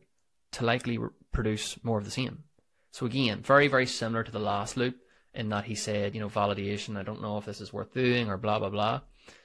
You're going to go back to changing the paradigm shift, changing the mindset. So he's going to say no. And then you're going to say why. And he's going to say, you know, if I want to get to where I want to get, I'm going to have to start making some different decisions and blah, blah, blah. And then you're going to say, so how much longer are you going to let those decisions making patterns? How much longer are you going to let those decision making patterns prevent you from reaching your full potential? How much longer? Because I know you're really committed to this. I know you really want to do this. How much longer are you willing to let those decision making patterns make you sit on the sidelines? And then he's going to give you this whole big spiel about how important it is. And then you're going to say, so what do you think right now to break through those patterns and start yielding better outcomes? What do you need to do right now to do that? And then hopefully he's going to say, you know, trust in your marketing or go with you. I think this is the right way to go forward. Okay, so let's say it's still negative. You're going to say something like, look, at some stage you're going to have to break the mold. Up until this point, you've made the decision that someone in your position makes. If you want to break through the upper echelon and start making serious money, you're going to have to make tough decisions. And that's what this is, John. This is a very tough decision. Human nature dictates that we back away from tough decisions. We know this is a risk. We know you have to put your trust in me. We know you've been burnt in the past. But we've just discussed that the best thing for you to do is put your trust in someone, drive your business forward through marketing, because we know that's how we're going to get your business to the next level. So it is a tough decision and you're going to tell yourself a thousand reasons to not do it because that's more comfortable. To not do it is more comfortable. To keep doing what you're doing is more comfortable. So we need to break through that mold and we need to make a really, really tough decision. And that's what we're talking about here. Does that make sense, John? And he's going to give you an answer. And then you're going to say the really, really key line. What decision can you make right here, right now to put yourself in the best position to reach your goals six months from now? I'm indifferent here. I'm running my business, John. Um, we're talking here about your business and you clearly need help. So what can you do right here, right now, that when you go to bed tonight, that you look yourself in the mirror tonight, you can say, John, I made the best decision today to get me one step closer to my goal. What can we do right now, John? Tell me, what can we do right now? Because this is really, really important. This is your business. This is your life. This is your family. What can we do right here, right now that's going to get you one step closer to your goal? And then he's going to give you an answer. And my God, if you've done four loops and you've hit him with that passion, you've hit him with that intensity, you've hit him with that sales psychology, you've hit him with all this logic, if he still says no, you're going to book him on another call. That's very, very worst case scenario. You're going to book him on another call because that means he's still, there's still potential there. You're going to book him on a call for next week or you're going to go, like, let him have a think about it because there's just no getting through to him. He's just a, a brick wall but if you do this, your close rate will 10x. If you follow exactly what we just discussed in this lesson, because a lot of your objections will be fear. They'll, this will go carbon copy exactly like this because they'll be super skeptical. They'll maybe not be convinced by you. They're not convinced by the industry. They're not convinced by who they've been burnt in the past with. So it will be very, very similar to this. And if you can follow this process, if you can watch this lesson, if you can really, really learn this in depth, you will absolutely kill it with objections. So really, really important. Hope you enjoyed that lesson. This is super valuable, really, really gold. I didn't learn this till a fair bit into my agency journey. Like I didn't even know objection handling had a science to it. I didn't know there was loads of key terms like looping, isolating, diffusing, reframing. If I had have known, my God, I don't know where my agency would be today. It would probably two, three, four X my results. So this is really, really gold stuff. This is crucial learn all of this. We're going to get into how we can answer certain difficult questions and more objections in future lessons. We're going to get into the price objection in more detail um, and all of that good stuff. So really, really crucial lesson. Watch this over and over and over again. I'm going to link this document below so you can save it and have it for yourself. But this is really, really good stuff. I want you to learn this as much as possible. Hope you enjoyed that one, and I'll see you in the next lesson. In this lesson, we're going to be looking at our response fault. I'm going to give you proven and tested answers that you can say in difficult situations when potential prospects hit you with difficult questions. So let's get straight into it. So I need to talk to my wife, business partner, about this. Prevention. Make sure all relevant decision makers are on the call and clarify this before the call begins. Again, we've discussed this in previous lessons. You need to make sure the key decision maker is on the call. You can do this by adding questions to your Calendly form. You can do this by asking them specific questions, whether it's in the DMs, whether it's via email or on a cold call or however you book them.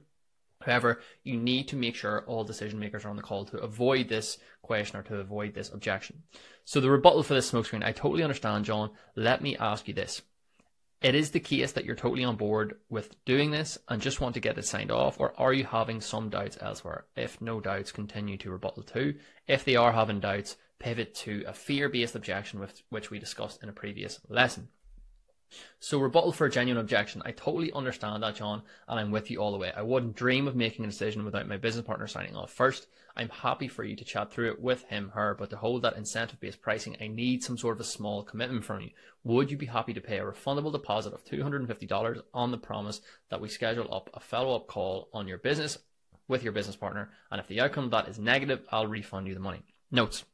If they aren't willing to put a deposit down, they're probably never likely to ever buy. So this deposit is just a little psychological thing. If they are willing to financially commit to this, then you know they are so much more likely to close down the line. However, if they aren't willing to put down a totally refundable deposit to lock in their place, you know they're a bit wishy-washy. You know they're not maybe as solid as you thought, and you know this is all a smokescreen just to get off the call. Because if the deposit of $250 is totally refundable, then they have literally nothing to lose. And you can say, look, if you're a little bit nervous or apprehensive of putting down a deposit, the only reason I'm getting you to do that is because you are so much more likely to take action. You're so much more likely to do what we discussed, and we're so much more likely to work together and get you to your desired result if you just financially commit to this. Just a little bit. If you just financially commit to this, you're so much more likely and try and reframe his mindset because he's gonna be like, no, no, no, I don't want to give a deposit. I don't want to give this guy any money. You know, am I gonna get my money back? Blah blah blah. So you got to reframe his mindset and show him like it's the only reason we're doing this is to get you committed to this. Are you actually committed to doing this, John? And you'll know if he's not willing to put down a totally refundable deposit, then he's gonna be a little bit flaky. Can I speak with some of your clients' references? Prevention. Send all testimonials prior to the call. So send up an SOP, set up an operation where they get the testimonials via email. Maybe you can set it up on Calendly that they automatically get sent their emails, or maybe you have a confirmation page with all of your case studies like I do. However, if you haven't done that and they hit you with this objection, and your rebuttal could be, great question, and I fully understand why you've asked that. While I respect the request, we don't give out client information purely because of the nature of digital marketing.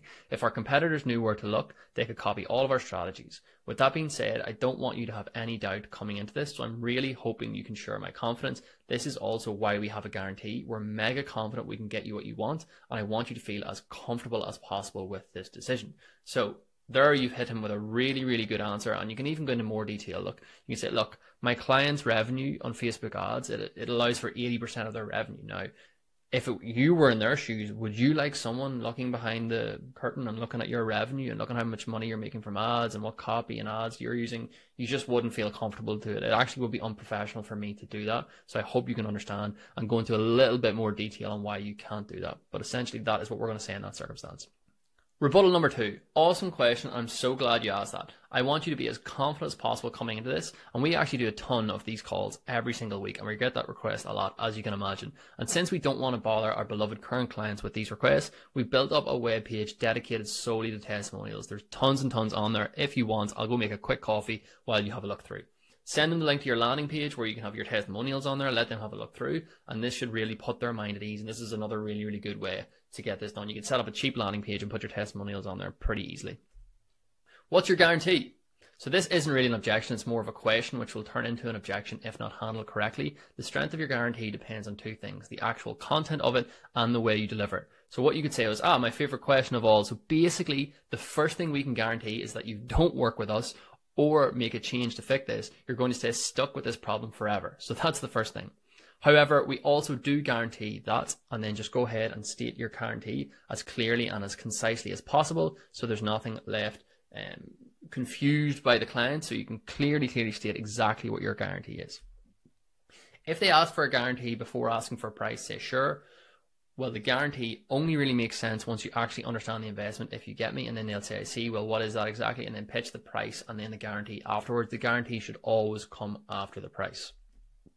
I don't make decisions on the spot. Prevention. Use incentive based pricing. So if you have preyed on performance pricing, it's going to be very, very difficult to say no. And this goes back to the offer lesson. If your offer is absolutely out of this world, they will never say I don't make decisions on the spot because they can't say no. It goes back to Alex Hormozi. If your offer is good enough, make it so so good that they cannot say no. However, if it's a genuine objection, your rebuttal is going to be John. I'm totally on board with that, and I completely understand where you're coming from here. In fact, I admire that. With that said, this doesn't feel like an on the spot decision for me. I could understand if we've been talking for a few minutes, but we've just spent 45 minutes to an hour exploring everything about your business and your key problems, and we've come to the conclusion that this is exactly what you need to move forward. From my perspective, we are the perfect fit for you. And it's not really about pulling the trigger, it's about sharing the confidence that I have that we can do this. Does that make sense, John? Killer, killer answer here. Really, really good answer to someone who's saying, you know, I don't make decisions on the spot. You know, they're not making a decision on the spot. You haven't just hit them with a 30 second pitch. You've been talking for an hour going through everything in real, real details. So that's a really, really good answer. Rebuttal for the smokescreen. I'm with you all the way. And in my experience, the only reason someone doesn't buy on these calls is because they are lacking confidence or information. So tell me, what do you need to move forward now? And I'll do my job to give it to you. So this goes back to, you know, a lot of the time this could be a smokescreen and like logically thinking, if they are saying something like this, I don't make decisions on the spot. You know, they're saying I need to think about it. I need to think about that. So what do you need to think about? The person that needs to be in front of you when you're thinking about it is here right now. I'm the person that can answer all your questions. So if you don't have confidence or you don't have information, I'm here right in front of you now. Ask me anything you need in order for me to give you that information and give you that confidence. So another really, really good answer. Can I have some time to think about it? This is not an actual objection. It's always a smokescreen. This is always a BS smokescreen objection. And the first rebuttal you're going to say is, sure, well, let me go make a call for you. I'll give you a few minutes to think about it and then we'll discuss what's on your mind. Is that okay? Or I totally understand why you've asked that. Let me ask, what specifically are you having doubts about, John? So these are really, really two great questions to set up the reframe or to actually genuinely let him have a think about what questions he wants to ask you. I can't afford it. I don't have the money. If they genuinely can't afford it, then let them go. But I can guarantee you that most people will be able to afford it just fine. Exactly. So look, if they're on the call, they can't afford it essentially. They're not booking a call with a marketing agency or with a marketing expert going into it with very little funds. They have the funds. Most businesses can afford a few grand a month to put that into marketing. This is a very, very, this is always going to be a smoke screen. And a rebuttal you can hit them with is, I see, isn't that why you booked this call in the first place? So yeah, awesome. You know, what were you expecting when you hopped on this call? Were you expecting there to be an investment? Were you expecting, um, you know, what were you expecting? Pay on results or, you know, sort of ask them, what were they expecting when they hopped on the call? Rebuttal number two, I understand, well, is this something you really want to do or not? So this goes back to really actually understanding, are they committed to this? Is this is something that they really, really want to do. And you will use their pain points as ammunition that you will have found earlier in your call using the sales call structure that we discussed in previous lessons. And you'll use it as ammunition. But are they actually committed to this? And then you're going to say, I'm with you all the way. The last thing I want is for money to be the thing that stands in the way of you getting what you want. It takes money to make money, and it's like the chicken and the egg thing. What comes first, you know? So how can we make this fair for everyone and make this happen for you? Really, really good question. Diffusing the situation, coming down, understanding their side, coming around their side of the table and hitting them with some logic. Let me build up some cash and then I'll come back to work with you. Rebuttal. Okay, tell me how that would work and let them explain what they're kind of thinking. You know, maybe I'm going to borrow some money or I'm going to do this or whatever. Okay, so let me see if I've got this right. What you're saying is that you're going to keep doing what you're already doing, which is hardly building your business and getting basically no results and isn't even paying you enough to live comfortably. And you're going to keep doing that until someday you build up a surplus of cash to invest in what will really work. Is that fair to say? Is that an accurate statement? Then, well, yeah, I guess that doesn't make much sense. Of course, it doesn't make any sense because the reason they're on this call is because they're not making as much money as possible. So it makes absolutely no sense for them to go and build up some cash because you're going to be their cash generating machine. You're going to be their lead machine, their sales machine. That's why they're on this call. That's what you're here to do. And then you're going to say, so how do we make this happen? Now isn't the right time. So a time objection, your rebuttal could be sure. I'm with you. Timing is everything. Mind if I ask you a question about that? When will it be the right time for you to get serious about growing this business and start getting what you really want? And that's a really, really good question because sometimes they hide behind this, you know, now isn't the right time. But when is going to be the right time? There's never a perfect time to grow your business. There's never a perfect time to, to start your marketing campaigns or whatever it may be. So start now. The best time is now. Or your second rebuttal could be, I can promise you that doing this and working with us is synonymous with getting you what you want out of this business. Are you saying that now isn't the right time to really get what we talked about in this call? Go back to their pain points, you know, grow your business, double your revenue, take your family to Disney World, take days off work, you know, go back to their pain points and say, you know, when is the right time to do that? When is the right time? Because I can tell you from personal experience, the best time is right now. I've tried marketing agencies before and failed with them. So really, really common one and something that's going to come up a lot. Your response could be, I totally understand. I've been burned before by vendors and it always leaves a sour taste in my mouth. However, the last thing we want is for your past to prevent you from getting the future you want. That's exactly why I started insert your agency name. I want to be the guy that fixes this for you and rekindles your relationship with the marketing world. If you don't mind me asking, what's specifically happening with these agencies that led you to not getting the results you wanted? So really, really good question. And again, we touched on this in a previous lesson in objection handling fundamentals in great, great detail. This is a very, very common fear-based objection and go and watch that previous lesson to look for a more detailed response on that. I've got calls with other agencies lined up. So this is quite common also. I'm with you. It's good to keep your options open, but it's even better to close the one that's right for you. And from my position, I can tell you it's this one. I'm certain this is what you need to move forward, and I'm even more certain you won't find a better fit out there. Let me ask you, when did you plan on weighing up your options and making your final decision? They'll always say something like a week or a few days, blah, blah, blah. And then you're going to say next week, next week, we could already have your ads live with new customers walking through your doors. Let me ask you this. Why delay getting what you want for a week only to find out that this was the best option for you in the first place? And a note. If you want someone to second guess their decision, just repeat what they said as if it's the most ludicrous thing you've ever heard in your life. Use this wisely and in a humorous way. Don't offend them. So when he says next week, just like next week, like next week, you could have already had your ads live and customers flooding in. That's what I mean by that. So there's really, really good responses for that specific objection. If the conversation is going round and round in circles, this is what I want you to do. Look, John, here's the thing. Let me let you in on something. You're not really making a decision on us or anyone else running your marketing campaigns. The real decision you're making is whether or not you're prepared to commit to getting your business to X result and the freedom that comes with that, what they really want to do with that money. Super important. It goes back to finding the pain points earlier in the call. Or whether or not you want to stay exactly where you are, stuck at the same revenue, sick of being overworked, underpaid, not able to afford your finances, whatever the situation is, whatever you've discussed with them at the start of the call. That's the real decision you're making here, and you'll be faced with it every day until you're ready to change. So, this line of questioning, this sort of statement, it makes the decision about the prospect getting their dreams and what they really want, fixating them on the outcome and not on you, not on marketing, not on agencies, not on Facebook ads, fixating them on the outcome that they're looking for. And remember, they're not making a decision to invest in Facebook ads, a new funnel, training, services, whatever it may be. They are making a decision on whether or not they want to stay jammed in their current situation or move forward and get what they really, really want out of life.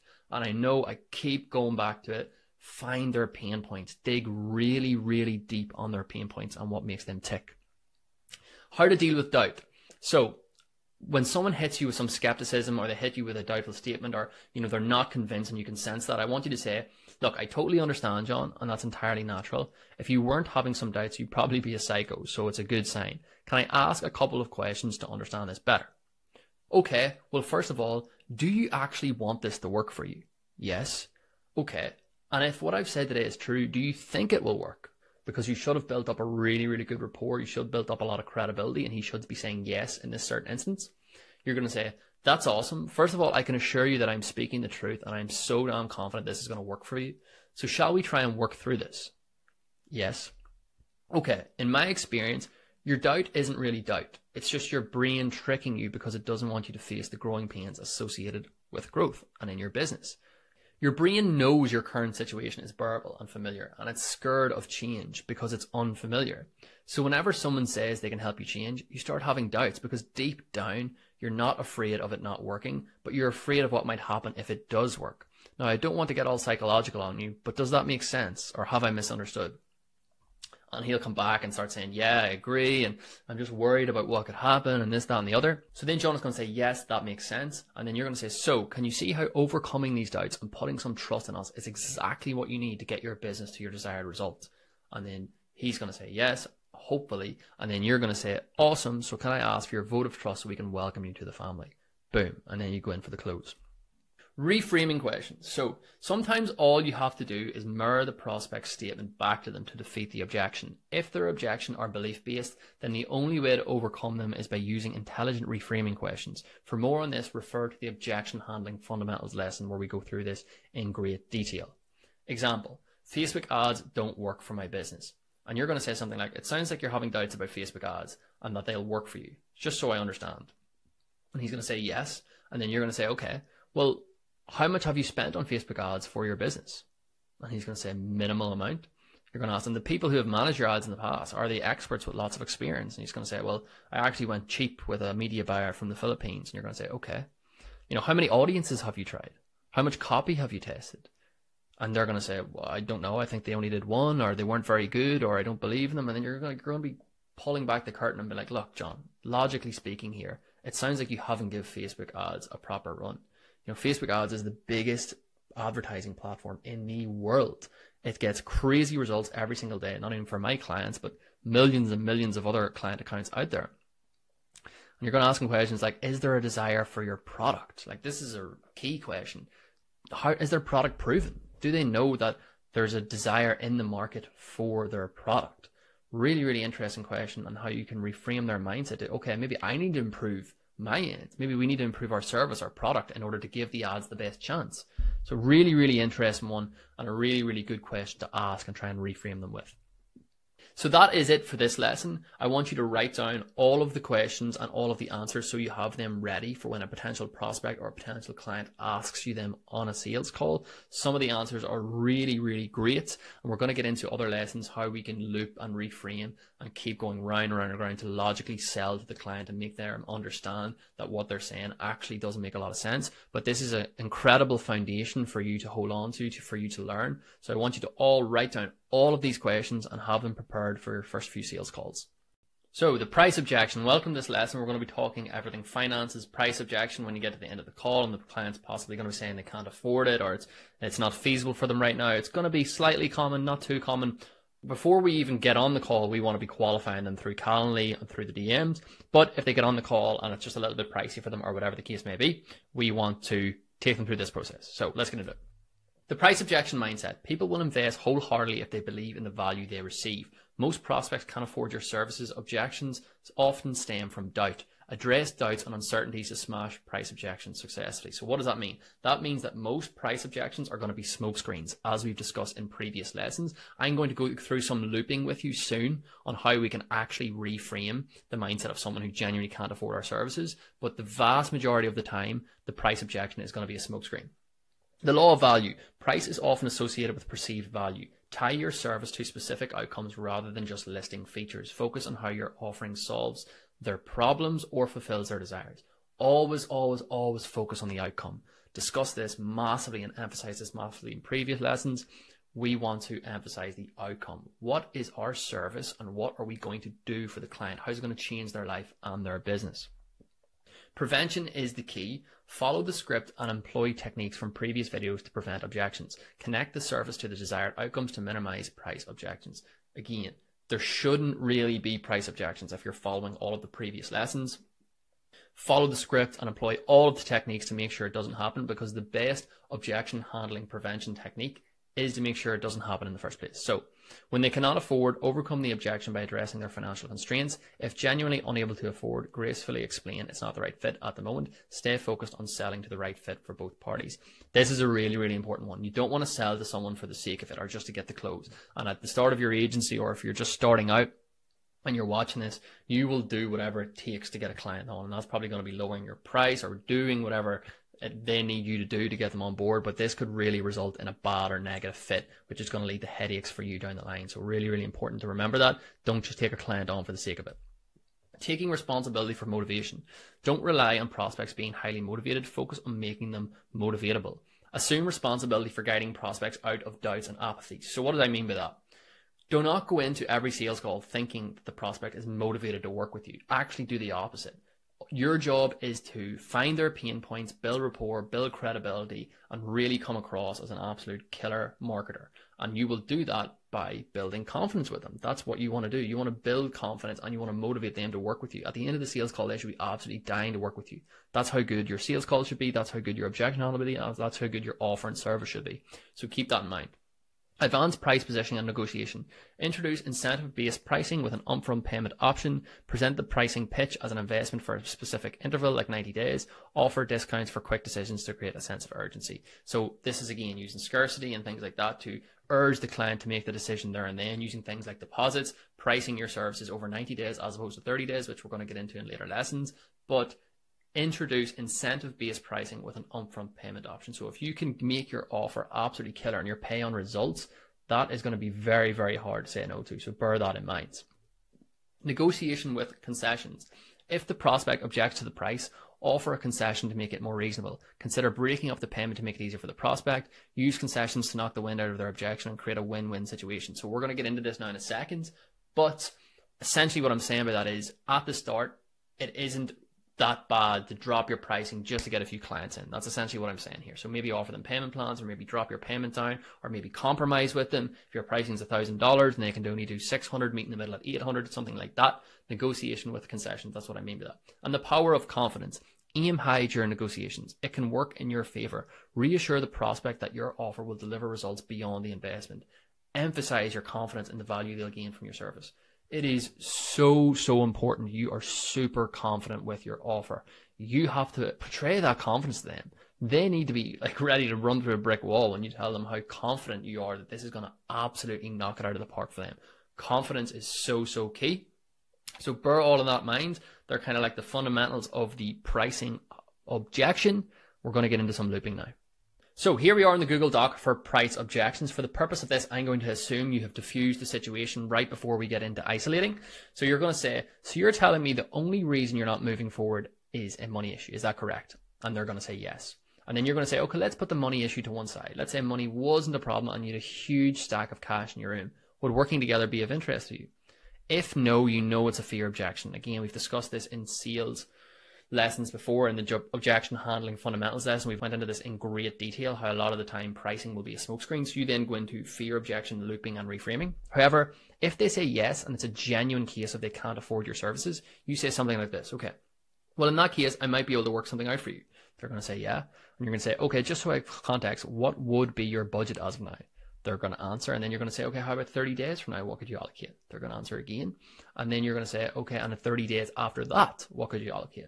And they're going to answer. And then you have a lot of information. And then what you're going to do is you're going to make an offer based on your plan B or lower pricing. So you should have a plan B pricing. The scenario is just like this where the client or potential prospect can't necessarily afford your services. So you're going to make an offer based on your plan B pricing. And then hopefully they're going to give you a positive response. And then you're going to say, okay, great. Where do you want to go from here? And then you're going to go in for the close.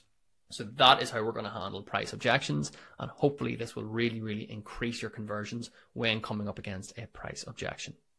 So you've landed a client and now you are onboarding them into your agency. This lesson is on the onboarding process. Really, really crucial lesson to really wrap your head around because a lot of beginners, a lot of people at the start of their agency journey, they do not have a dialed in onboarding process. So I'm going to take you through A to Z exactly how it's going to be done in this lesson. So onboarding outline. Here we have the actual A to Z outline. So the first we're going to invoice them. Hopefully on the call, you're going to invoice them and take payment, and then you're going to do the contract. You're going to do the onboarding form, get them into Slack, get access to their Facebook backend, and then get your team in there. This must be a smooth and efficient process. Really, really important. This needs to be an absolutely dialed in and smooth process.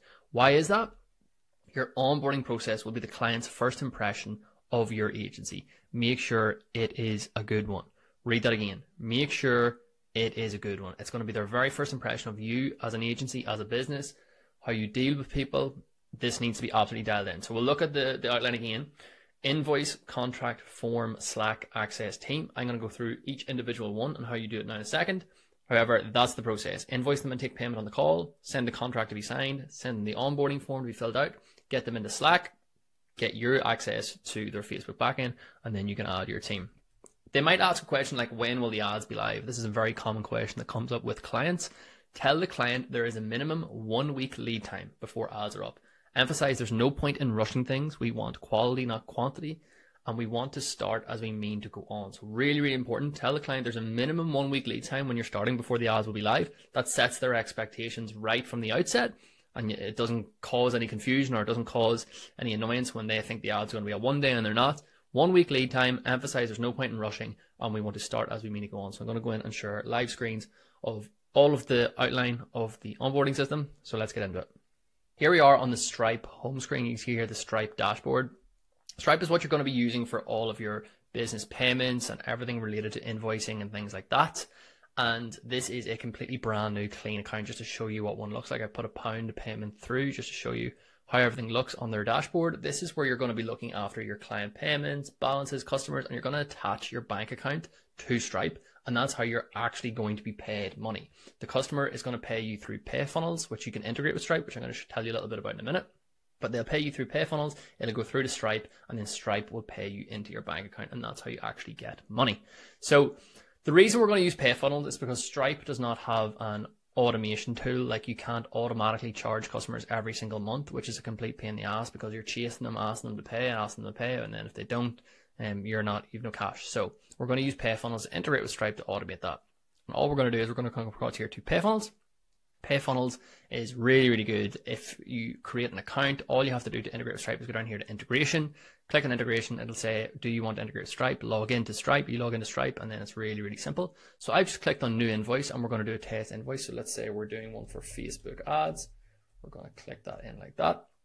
And this is the key element here. We're not going to do one time. We're going to do recurring, which means whatever you put in, your customer will then automatically be charged that payment the same day of the month. So today is the 8th. Next month, the customer will automatically be charged on the 8th this fee. So it's really, really good, really efficient, and means you're not chasing customers. And that is basically it. You can obviously put as much detail in the name of your product or service and then also the description as you want. For the purpose of this test, we're just going to do test invoice on Facebook ads. And then we're going to click save invoice and then it will actually give you a link like this. You copy the link, come across here, and this is what the link looks like. So you see here Maverick Socials Limited, monthly recurring, the amount, and all the customer has to do is put in their name, their email, and then their payment details. Really, really simple. It says up here what it is. Test invoice, Facebook ads. So really, really simple. That is how you use Stripe and PayFunnels. Very, very simple software to use. So next we're going to go to PandaDoc. This is where all our contracts are going to be created. And to create a contract, all you have to do is come across to here, click on create new, and it's going to ask you to select a file. Now I have the template on file and you want it to be a Word doc. I'm going to attach it to this lesson. You want it to be a Word doc because PDFs sometimes format weirdly. Now the Word docs will format weirdly as well, but they're a lot easier to sort of mend. So you click or you drag it up and it will convert and then you want to click convert and that will process and then here is where you're going to put in the client information so for the purpose of this let's put in john at nike.com let's do john smith and then we're going to hit continue and then this will auto populate the contract for us and then you can see here it is now auto populated. Now there are some issues here. You can see the numbers haven't populated correctly for whatever reason. Sometimes it does doesn't go in correctly. So all you have to do is go in and change that. It's very, very simple. You just put in one, two, three, four, five for all the services. But because this is populated now, we can make whatever changes. So you can put in the date, you can put in the name, the company, or whoever it may be. You can scroll down. You can obviously change the service deliverables change the numbers as we said, and then you can change these too. So if we scroll down and we want to change this to, let's say, 2995 or whatever it may be, you can change it however you see fit. And then if we scroll down here, the important bit is this. So if we go to the company name, we can put in a text field where the client has to fill that out. So let's say, so I've now asked John to fill that out. So he puts his company name in there. Below that, you can put the signature. Boom. We just assign that to John. Boom. There we go. Company name, value, and then John can put his signature. And that is essentially how you use PandaDoc. It's really, really simple. Once you get used to it, you will love it. It's very, very efficient. And every time you sign a contract or every time you have a client that needs to sign a contract, this is what you're going to use. So again, some small formatting issues here. These are easy to fix. Um, but yeah, really, really good. I'm going to attach this to this lesson. So you have this contract template, but this is what you're going to be using for your contract agreements. And all you have to do is go up here and click send when it's ready to go. You go up and click send and you can send it via an email or what I like to do, I share via link. And we're just going to name this marketing contract. You want to click generate links. And then it's generating and then boom, you just copy that link and you send it to John or your client or whoever it may be, and they will just click on that link and it will pop up PandaDocs for them and they can sign the contract. So that is the contracts on PandaDoc. So now we're going to look at the onboarding form and this is done on Google Forms and I highly, highly recommend you go and create a Google Workspace account and start using Google Docs, Google Forms, Google Sheets, all that good stuff. And this is what it like. I'm going to attach this to the bottom of the document too, but this is what the Google form looks like. So we're asking the business name, daily ad budget, website URLs, Google link with existing creatives, confirming that they've uploaded that, locations, countries that they target, and all really, really vital information for us. And there'll be more on the following page as well. And I'm going to attach this to the bottom of the lesson. And all you want to do is you want to go over to Google Forms and you want to simply click on Create New. And it will take you to this page where you can easily create a Google form, just like the one I have. You can copy the exact one if you want. I do not mind and you go ahead and you collect the information from the client by creating a form here. Really, really simple. And that is the form aspect of the onboarding process. So here we are on the Facebook homepage and I'm going to show you how to get access to the client account. So what I actually recommend you doing is creating a short Loom video, just like the one I'm about to show you now, and giving it to the client. So you can create like a general one and you can send it to every client after they onboard to show them how to give you access to their Facebook ads.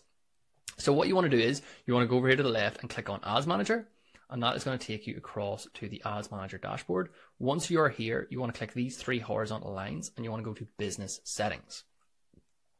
Once you're in Business Settings, here we can see the backend settings dashboard on Facebook Business Suite. And what you want to do is you want to go over to Add People. Let's use the similar example from earlier. So this will be the client inputting your email. This will be the client inputting your email to give you access. And you essentially want to get admin access. There you go. You click everything and then manage. And then you go to next. And then we click everything. And then we go down to ad accounts. And we click manage ad accounts. And then we go to pixels. Well, there's not a pixel set up, but if there was, then we would click add this is a fresh new account just to show you.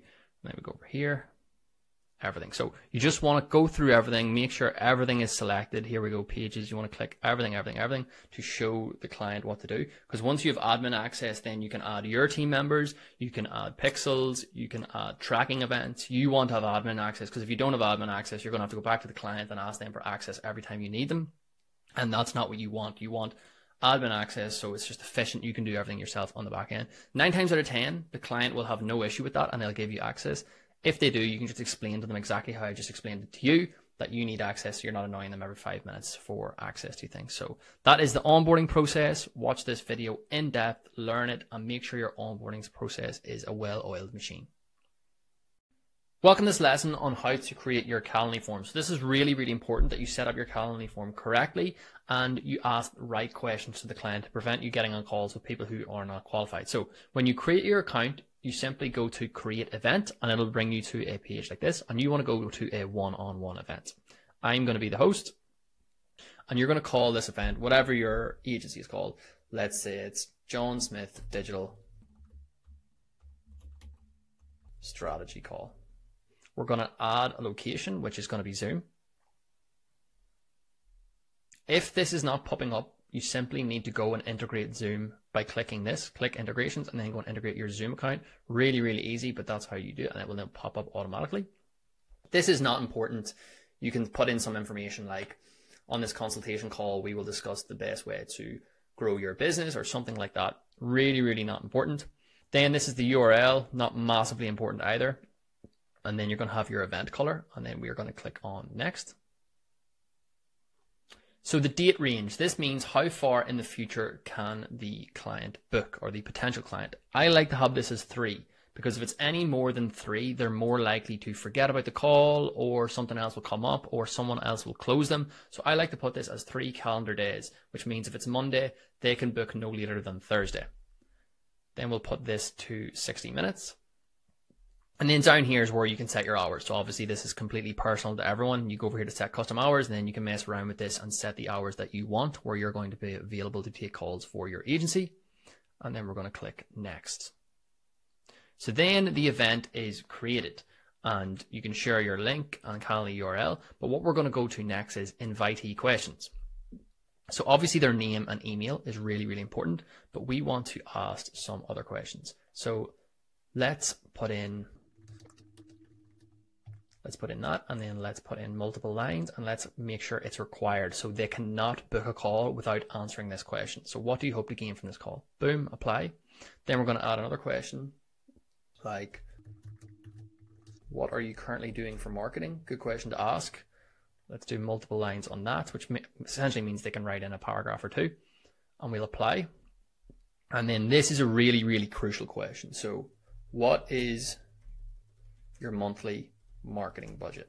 So, it's a good question to ask, and we want to put that as required because we're not outright saying to them, okay, do you have enough money to pay for me? Do you have enough money for my services? We're just asking them, you know, what is your monthly marketing budget? Very, very relevant question and something that you are well within your rights to ask. But from your perspective, before they book on or before you have the call, you'll be able to see. And if they say their monthly marketing budget is $500, which means they have $500 for ad spend and for your service fee, then you're not a good fit. This company is simply not ready for Facebook ads or Google ads, whatever it may be and they're not fit. So you know you don't even have to take the call. You can cancel the call. You can email the person. Thank you very much for your time, but based on your monthly marketing budget, I don't think we're going to be a good fit. Leave it at that. You don't waste 60 minutes going through everything with this guy trying to close him when he just can't be closed because he's not a good fit. So we have their name, email. What do you hope to gain from this call? What are you currently doing for your marketing? What is your monthly marketing budget? And that's pretty much. if I was going to add in anyone else, I would add in phone number just so you can WhatsApp them. And then you go down and you click phone number, and that will put in international codes and everything for that. So you can WhatsApp them before the call, add a bit of rapport on WhatsApp before they even get there, and improve show up rates. You could add in more questions. You could add in something like, Have you ever ran Facebook ads before? Uh, what do you hope to achieve in the next six to 12 months? What are your goals? But I think that's overcomplicating it. I think that will put some people off because people get annoyed when they have to fill out big forms. So I think name, email, what do you hope to gain from this call? What are you currently doing for marketing? What is your monthly marketing budget? And phone number is perfect for now. Then you go over to save and close. And then you will be able to see this on the page. So we go to view live page. You know, obviously you're going to add your logo. That's my logo. You're going to go to JS digital strategy call. We click in here. We go to this and then boom, we have all our questions name, email, what do you hope to gain from this call? What are you currently doing for marketing? What is your monthly marketing budget and phone number? Perfect. That's everything we need. We'll get their phone number, we'll get a feel for their current situation, we'll get a feel for their marketing budget, and we have everything we need in order to qualify them for this call. And if their marketing budget, as I say, is too low, don't be afraid to cancel the call and say to them, look, I don't think you're a good fit. Or you can take the call just for some sales experience, just to get a feel for getting on sales calls. It's totally up to you but this gives you the scope of the situation and this gives you all the information you need at your disposal. So that is how we set up Calendly and I will see you in the next lesson.